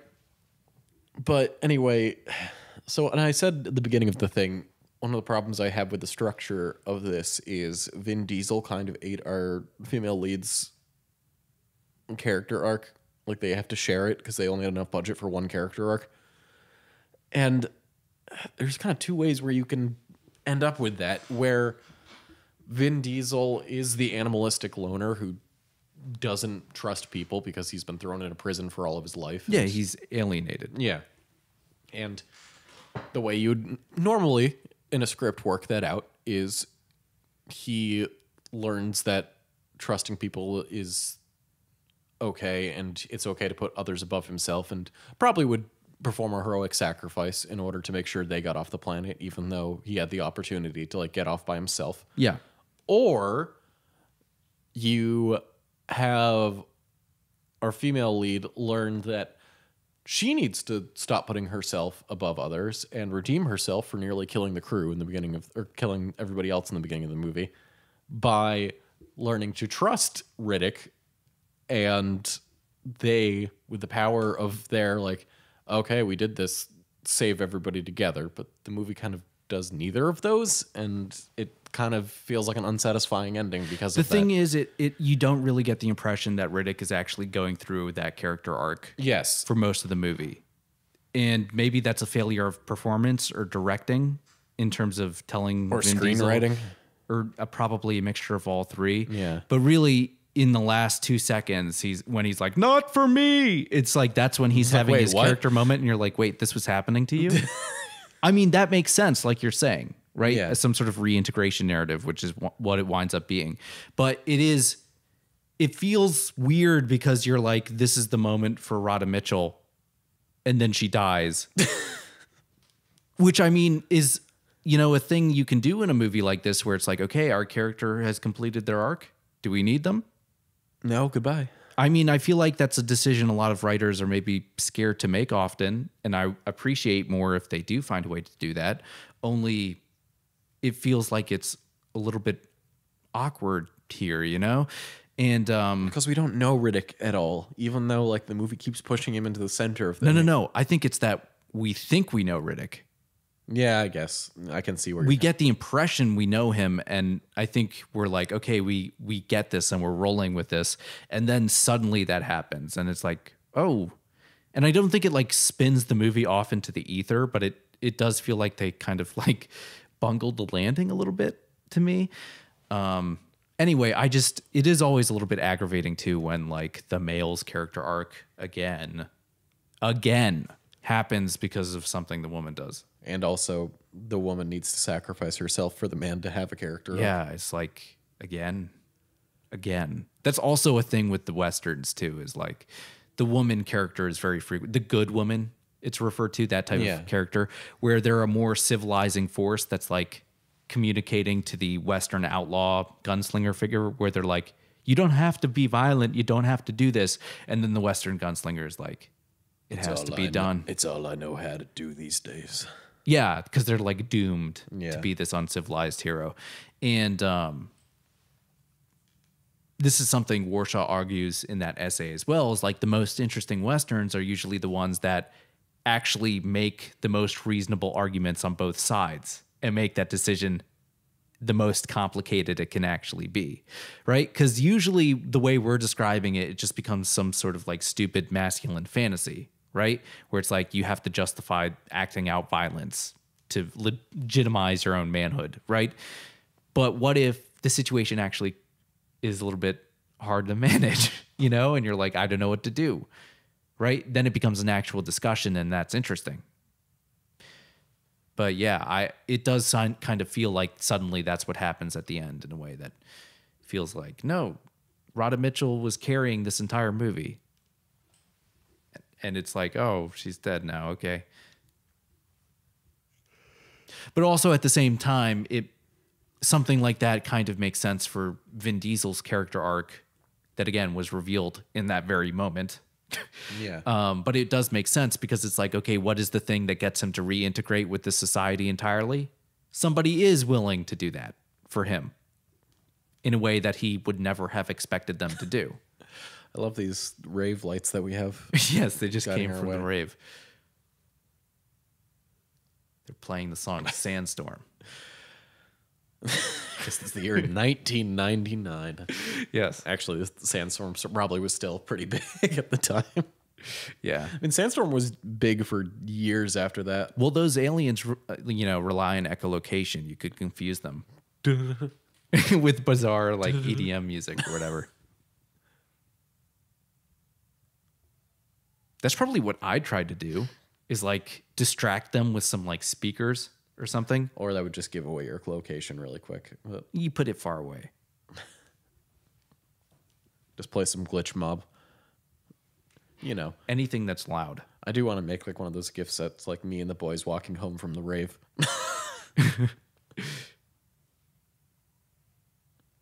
You start blasting like Public Enemy, and all the aliens are like. "Ah, la, la, la, la." It's the second time he's pointed a gun at her. This I also think is really stupid. This makes me hate the kid Jack because like you seriously took off your glow stick device to chase what now? What even fucking was it? Like a flashlight or something? It's like listen, tell them to stop for a second, leave your shit on and just grab it. You Okay. stupid jackass. Despite my dislike of the creature design in this movie, this was one of the few interesting and slightly creepy almost shots. too much. Yeah. I'm gonna say that this does feel like the type of thing where it's like somebody thought of this, wrote it down on a napkin, and they worked out the rest of the movie, perhaps. Yeah. But it is, I mean, yeah, works as an idea, right? Yeah. it feels like it belongs in a different movie. It would have been cooler if somehow they'd been able to show less of the monsters so that it looks more like abstract and that's like a really neat moment.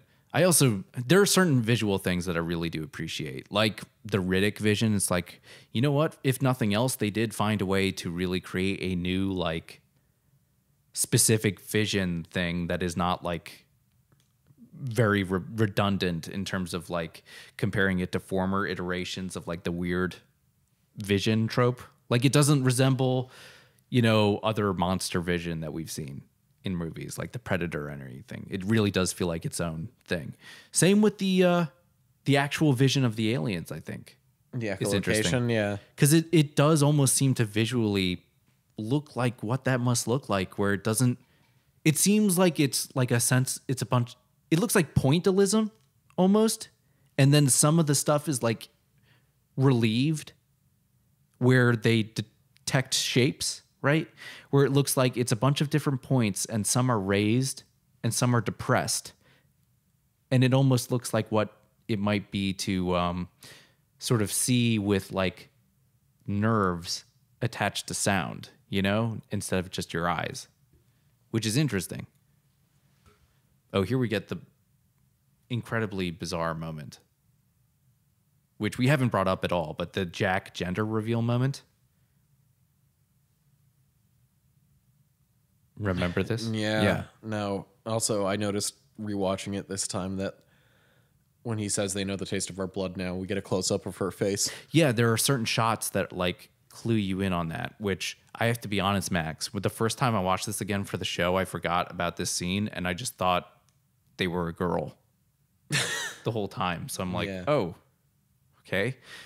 But also it's it is kind of like bizarre moment. Also, Keith David has this is where the Keith David stuff starts to go off the rails where he gets these very bizarre close-ups in the scene where it seems like somebody just told him like something for for the craft services lunch menu was something he really hates and he's like, "Oh, okay."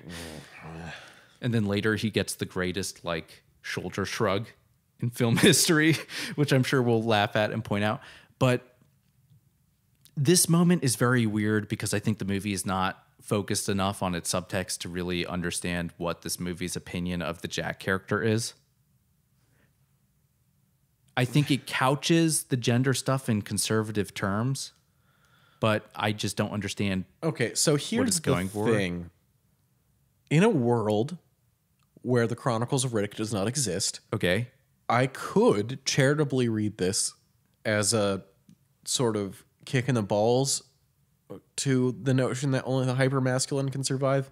It's as long as you have the skills and the knowledge and the will to act like Riddick does, you can survive in this world. But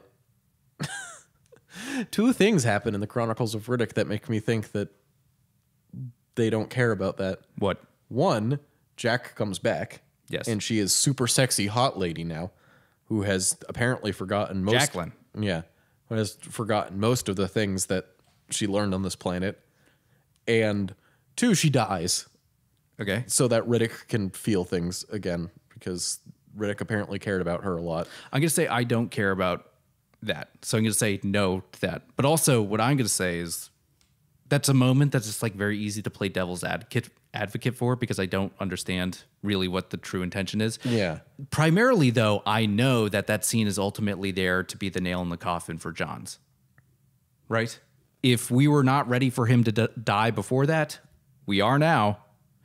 And um, it's interesting because he's the one demonstrating the hypermasculine behavior in that moment. And it's specifically something that's like antisocial and puts the group at risk, which is kind of interesting. Yeah. But also, like, I just don't know what what the movie's opinion of that Jack character is. I don't think it considers her to be like transsexual in any way. Or, eh, or like or I'm sorry, transgendered in any way, but also like it doesn't indicate and it has no it comes up and then it goes away. You know what I mean? Yeah. It's just not brought up again. I guess it's It's sort of supposed to be like, oh, that's why they know where we are, even though obviously they know where we are. Like, but also it's just kind of like why? I i the only thing it really obviously is there to serve is again to be the final thing needed if we needed anything else to justify this fight sequence between riddick and johns.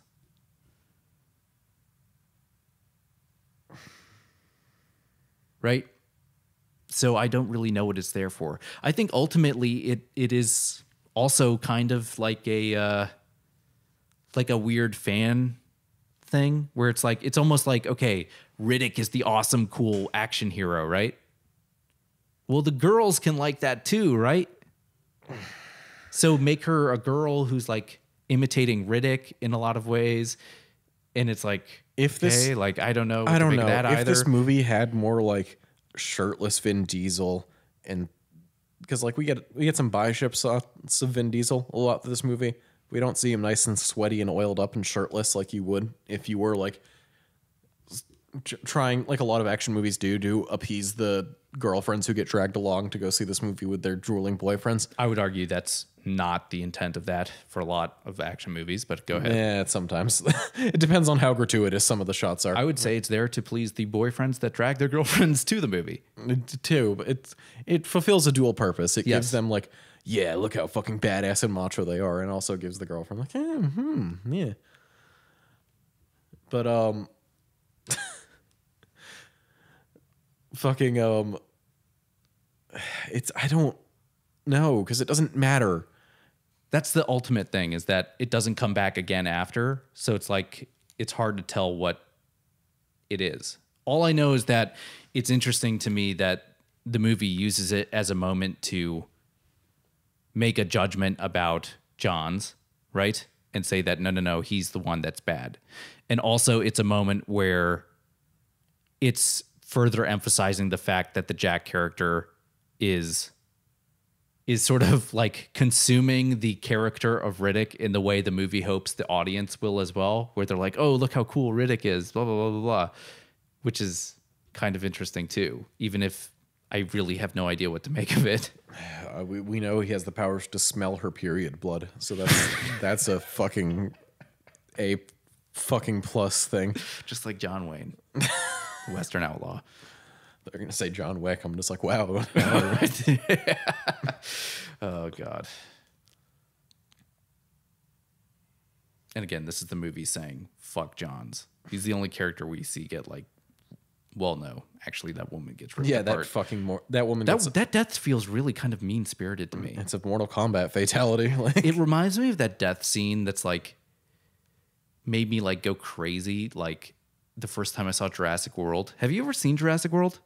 Mm. There's a scene where the like pterodactyls. oh yeah, they fuck with this one woman for like 80 years. It's like what is what is like why why this is like watching a Saw movie now. It's like they drop this woman and they like throw her between their mouths and then they get swallowed by a mosasaur. And it's like god damn it. But of course, here's the other interesting thing: is that uh, even though Vin Diesel crassly outs her, um, or them, because we don't really know. well, no, we do because in the next movie she's I don't care about the next movie. The next movie doesn't exist. It does not matter. Um, we don't. Listen, I- I would I would love if they were transgender and non-binary. That would add I'm not saying they are. I'm saying that in this movie is not ambiguous, and you cannot select Yeah. Chronicles of Riddick to inform this movie unless you're sort of putting those two things together, which it's equally valid to not do that. Because Chronicles of Riddick does not exist in this movie. I wish it didn't exist at all. It doesn't have to. So, uh, but my point is that um, we really don't know what their situation with their gender is. So I guess it's just easiest to call them they. But what was I saying about them? Oh, I think it's interesting that um, even though Vin Diesel kind of like reveals that about them, that it's like he also seems to care most about her response to the whole thing in the following scene. Yeah. and I think you know the the Jack character comes to represent in this movie sort of um, more of that Western idea of an open frontier and a, a future where agency and individualism is can potentially uh, become real again for these characters, and they can sort of escape the hellhole that they're in, or at least some idea of a new, different society that is not trapped in the loop of like terrible masculinity represented by both Riddick and Johns.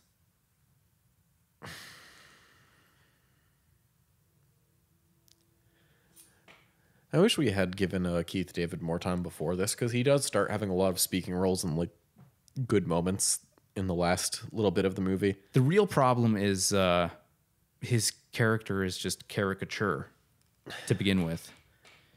It's not even that drastic though. I don't like. I just, I just, don't- It's I- boring. Yeah, it's just it's Caricature would default. imply like it's done to a degree where it's comical, but it's not. It's But I just- mean, there's just nothing added to it. You Yeah. know, like okay, so the holy man is an archetype in a western type movie, right? Yeah. Oh, let's put you have the you have We'll let's make put it- this man's faith to the test because the real world is Yeah. much harder than then civilization. Yeah. Yeah. Oh, he's on a pilgrimage. It's almost like he's also on a pilgrimage with this. yes. So it's like, okay, but they don't do like especially in the way that they direct the actors. There's it seems like there's nothing being added to the equation. So it feels like caricature because it's so overused and just it's been done in the genre that it's like you just inherited this trope and then this trope is so common that it just feels like a cartoon now. There's nothing about this that's unique to this individual. They don't feel like a real person. Okay. I want to talk about the do not look up thing. Okay. They're eating each other. See, we're terrified that we won't be able to last, but like one if I want to be fucking annoying, I could be like, how has this species lasted so long if they just fucking eat each other whenever it's dark? But I don't care There are that. lots of people that talk about this movie this way. It's Yeah. like, listen, this movie isn't that great, but that criticism is just like stupid and annoying. Especially the people who are like, what are the odds they land on a planet in this year of the exact day or whatever when the eclipse is happening after 22 years, where also it coincidentally uh, there's oxygen, and coincidentally, Riddick can see in the dark because he coincidentally got a shine job. Uh, 100% because that's the way the script was written. Yeah, that's also the premise of the movie. Yeah. It's like, okay, if that didn't happen, do you want to just watch them go on like a magic school bus trip to like fucking the space market or whatever? Kind of, yeah. It's like, I don't know what to tell you. Like, isn't it a fucking coincidence that in Transformers there's robots? What a fucking coincidence. Lucky for this movie called Transformers, there's Transformers in it. Isn't it fucking lucky for Luke Skywalker that the Death Star had a fucking hole that he could shoot it in? What are the fucking odds in that? Yeah. I mean, god damn it. Isn't it Isn't it lucky that Sauron made a fucking ring that he, you could throw into a volcano and it would kill him? and what all a of his armies? coincidence that in a movie called Pirates of the Caribbean, There are pirates in the Caribbean. Yeah. Don't really necessarily believe that, do I?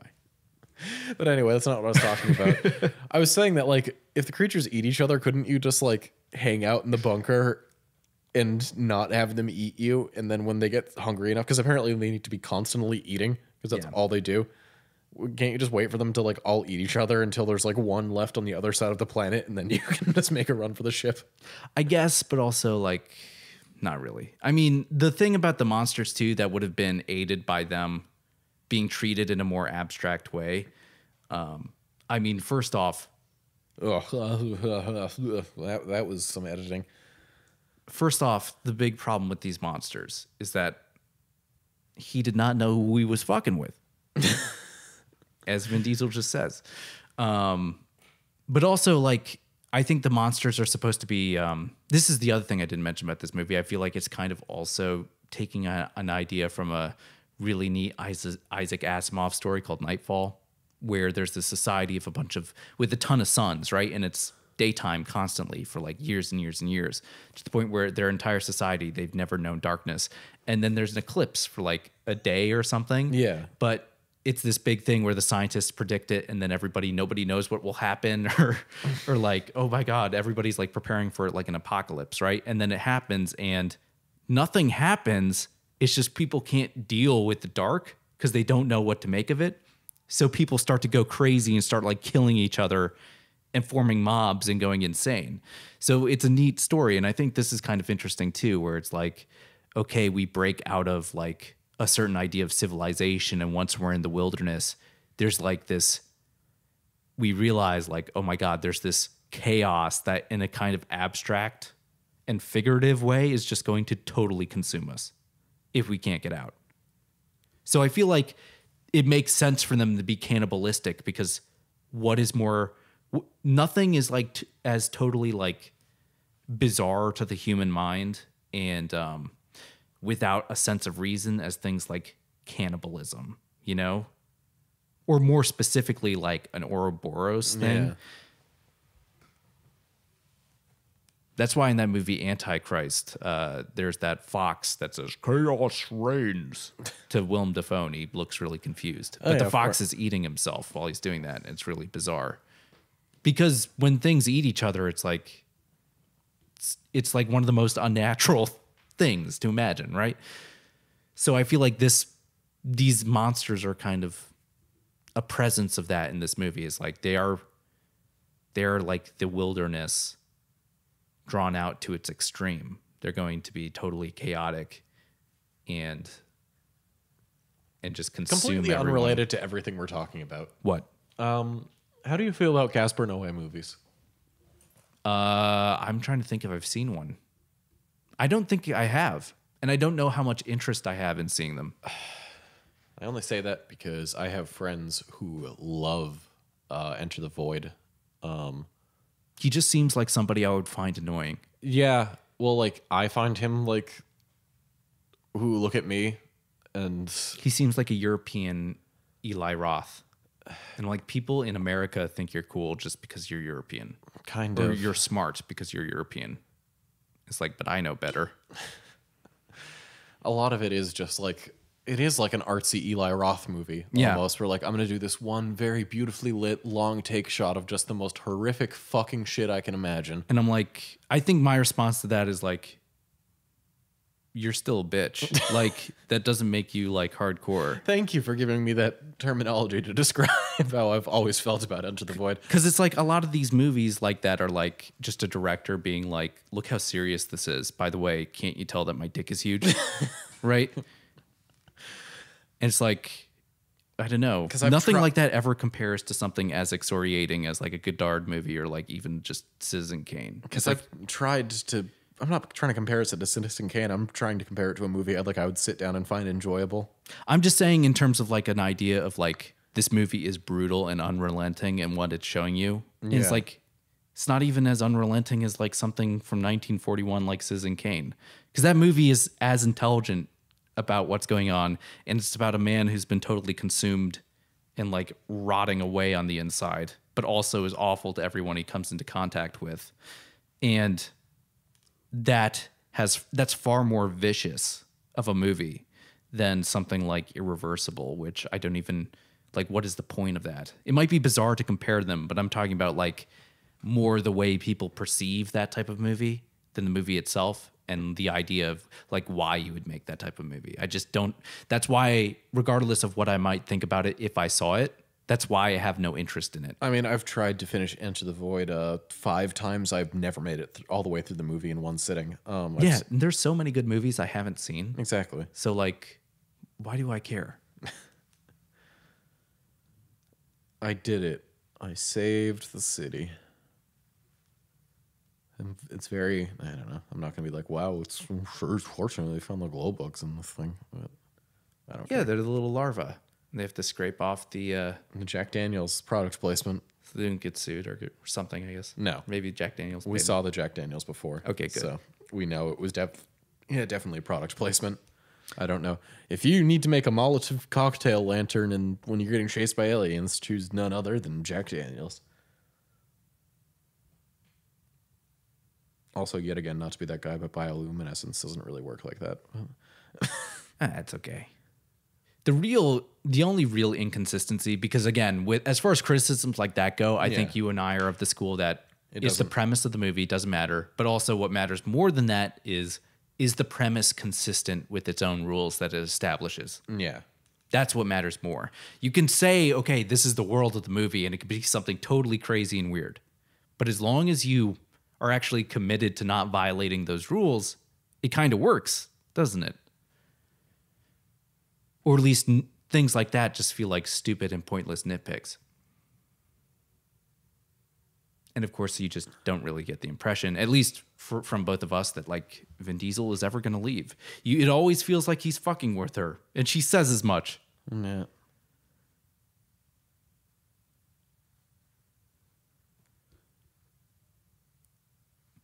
Or more specifically, what is also possible is it, I don't know if even the vehicle is capable of this, but it seems like he's going to just pick them up. that would make more sense, wouldn't it? Yeah, and like this is like the first time where we get like the feeling that he is going to like this is the first time that like it would ever cross your mind. It was like, oh, he's gonna leave them behind. But like it's inconsistent with everything we've seen about him before. or it's it's relying too much on what we might expect of him out of the gate instead of Like what he- we've shown if he was okay audience. with yeah, and if he was okay with letting everybody die, he would have just fucking gone along with the fuckface's plan earlier on and then let him die as well. Just Yeah. leave them all as bait so he can get to the ship. He was the one with the power cells anyway, and he clearly didn't need her to get the ship going. and so. that does relate back to what we're talking about about the western archetype the western hero archetype and the use of violence why did he use violence on johns because johns was threatening the group. Mm, yeah. it was for it was in the name of some sort of moral code or understanding of the world that he did that. And he was probably willing to let johns continue to survive until that conversation. You know he wasn't the one who was scheming against johns to like kill him and, and dispose of him even though i'm sure it would have been easier for riddick to do so than uh, than the opposite right Yeah. johns is like doubled over whenever he's not like having a morphine fix Yeah. Just and like, riddick is a, do we really need him? yeah We we can take his shotgun. He's not useful for much. yeah he's a drug addict he'll just slow us down see it'd be really easy to do but he doesn't do it because he's not trying to get ahead for himself it's no, he, in he, he informs her of the problem so that she can. Yeah, he doesn't talk down to them or treat them like shit ever. He just antagonizes them because he doesn't really know how else to interact with people, Yeah. and that sort of gives him joy. Um, but you know, it's interesting it because you know he won't do it, and when he asserts that violence, it's it's the same thing. You know he's not going to do it now because that's why he got rid of Johns. And the inverse of that is true too we know Riddick is different than Johns, and we know he's our protagonist because he didn't do what Johns did. yeah. And what Johns would do is exactly what Riddick is saying right now. So it's almost like it's a dramatic question that the movie has already answered. At the same time, I understand if you're trying to give Riddick and her the arcs that they have in this movie, why this scene is there, it's just like there needs to be a little bit of a shift in emphasis, I think, where it's like, okay, whose scene is it? Is it his scene or her scene? Yeah. Because she's the one that's like, yes, I would die for them. Which is it's like, oh, it's her scene, yeah, it's technically the conclusion to her arc where she was willing to let everybody die for her. which is a, it's like, oh, oh, okay. But it also, in the way it's shot and everything, feels a little bit more like it's channeled through Riddick in a way that feels kind of like a first draft. Right? You can get the idea, it's in there somewhere. It's just not as clear as you think it might ought to be.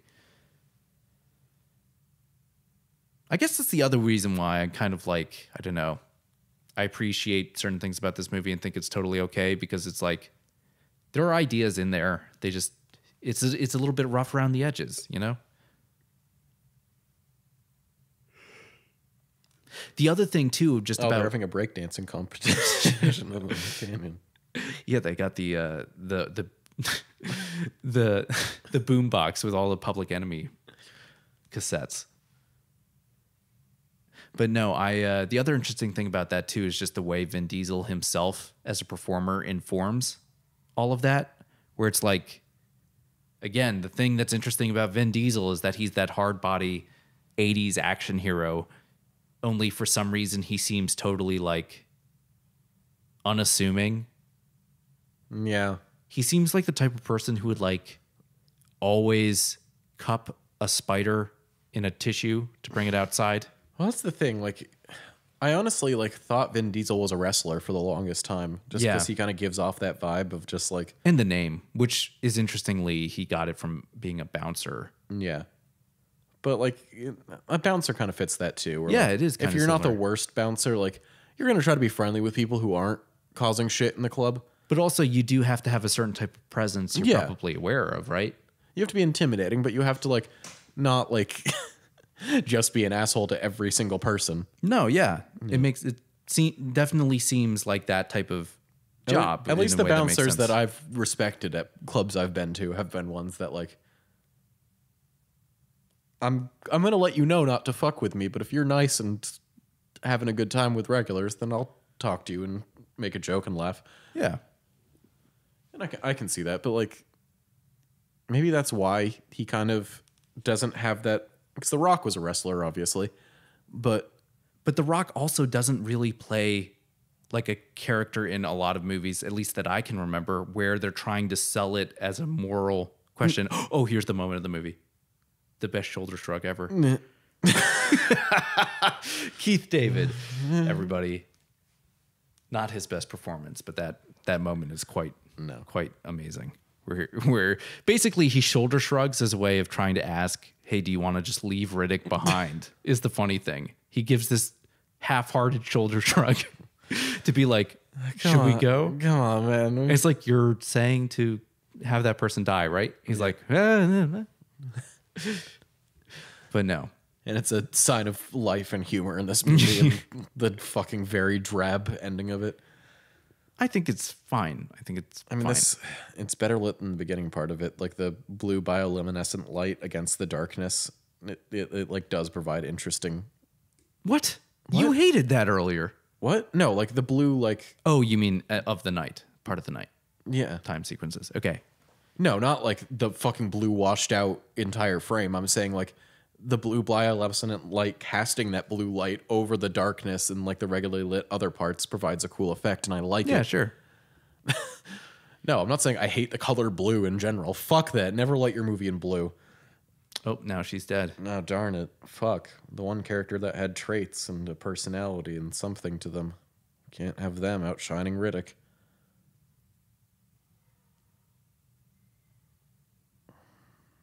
But again, also it's it's a weird moment too because I understand in a certain sense why you give that. I just feel like it's oddly placed, or you could have done it better.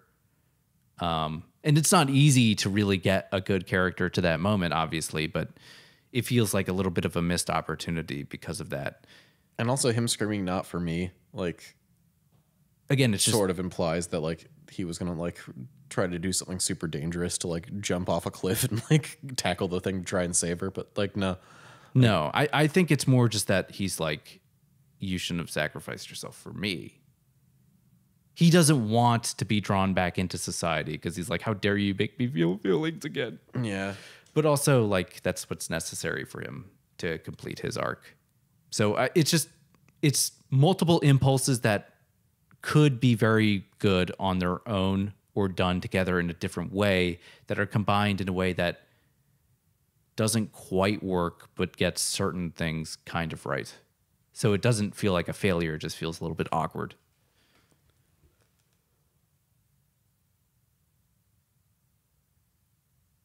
But the other interesting thing too is like it, it- we we end up with the situation where uh, she kind of is like that good good woman from the western, right? Yeah. Bringing him back into society in a specific way. I know there's still good in you yet. But also she does so by being a more proactive character in some ways, which is interesting too. And also she is the one getting doing the work in labor in the wilderness in many ways. Uh, just as much as he is, even though he's the one doing it more conspicuously, being a pack mule for like the cells or whatever. Oh, I guess the other thing I really wanted to mention about the way this movie treats that archetype too is it's sort of like a twist or inversion on what Warshow says, where he talks about how the violence is um, subordinate to like a moral impulse in the Western hero. Whereas in this, it's it's almost it's almost like an inverse of it because it's like it's not about when Riddick is violent. It's about how often he's not violent when he could be. You know what I mean? Yeah. And I think that also relates to him being like an embodiment of that sort of super predator convict inmate myth from the 90s. Is like And yeah. no, his moral code is exemplified in how much he is not a horrible violent monster.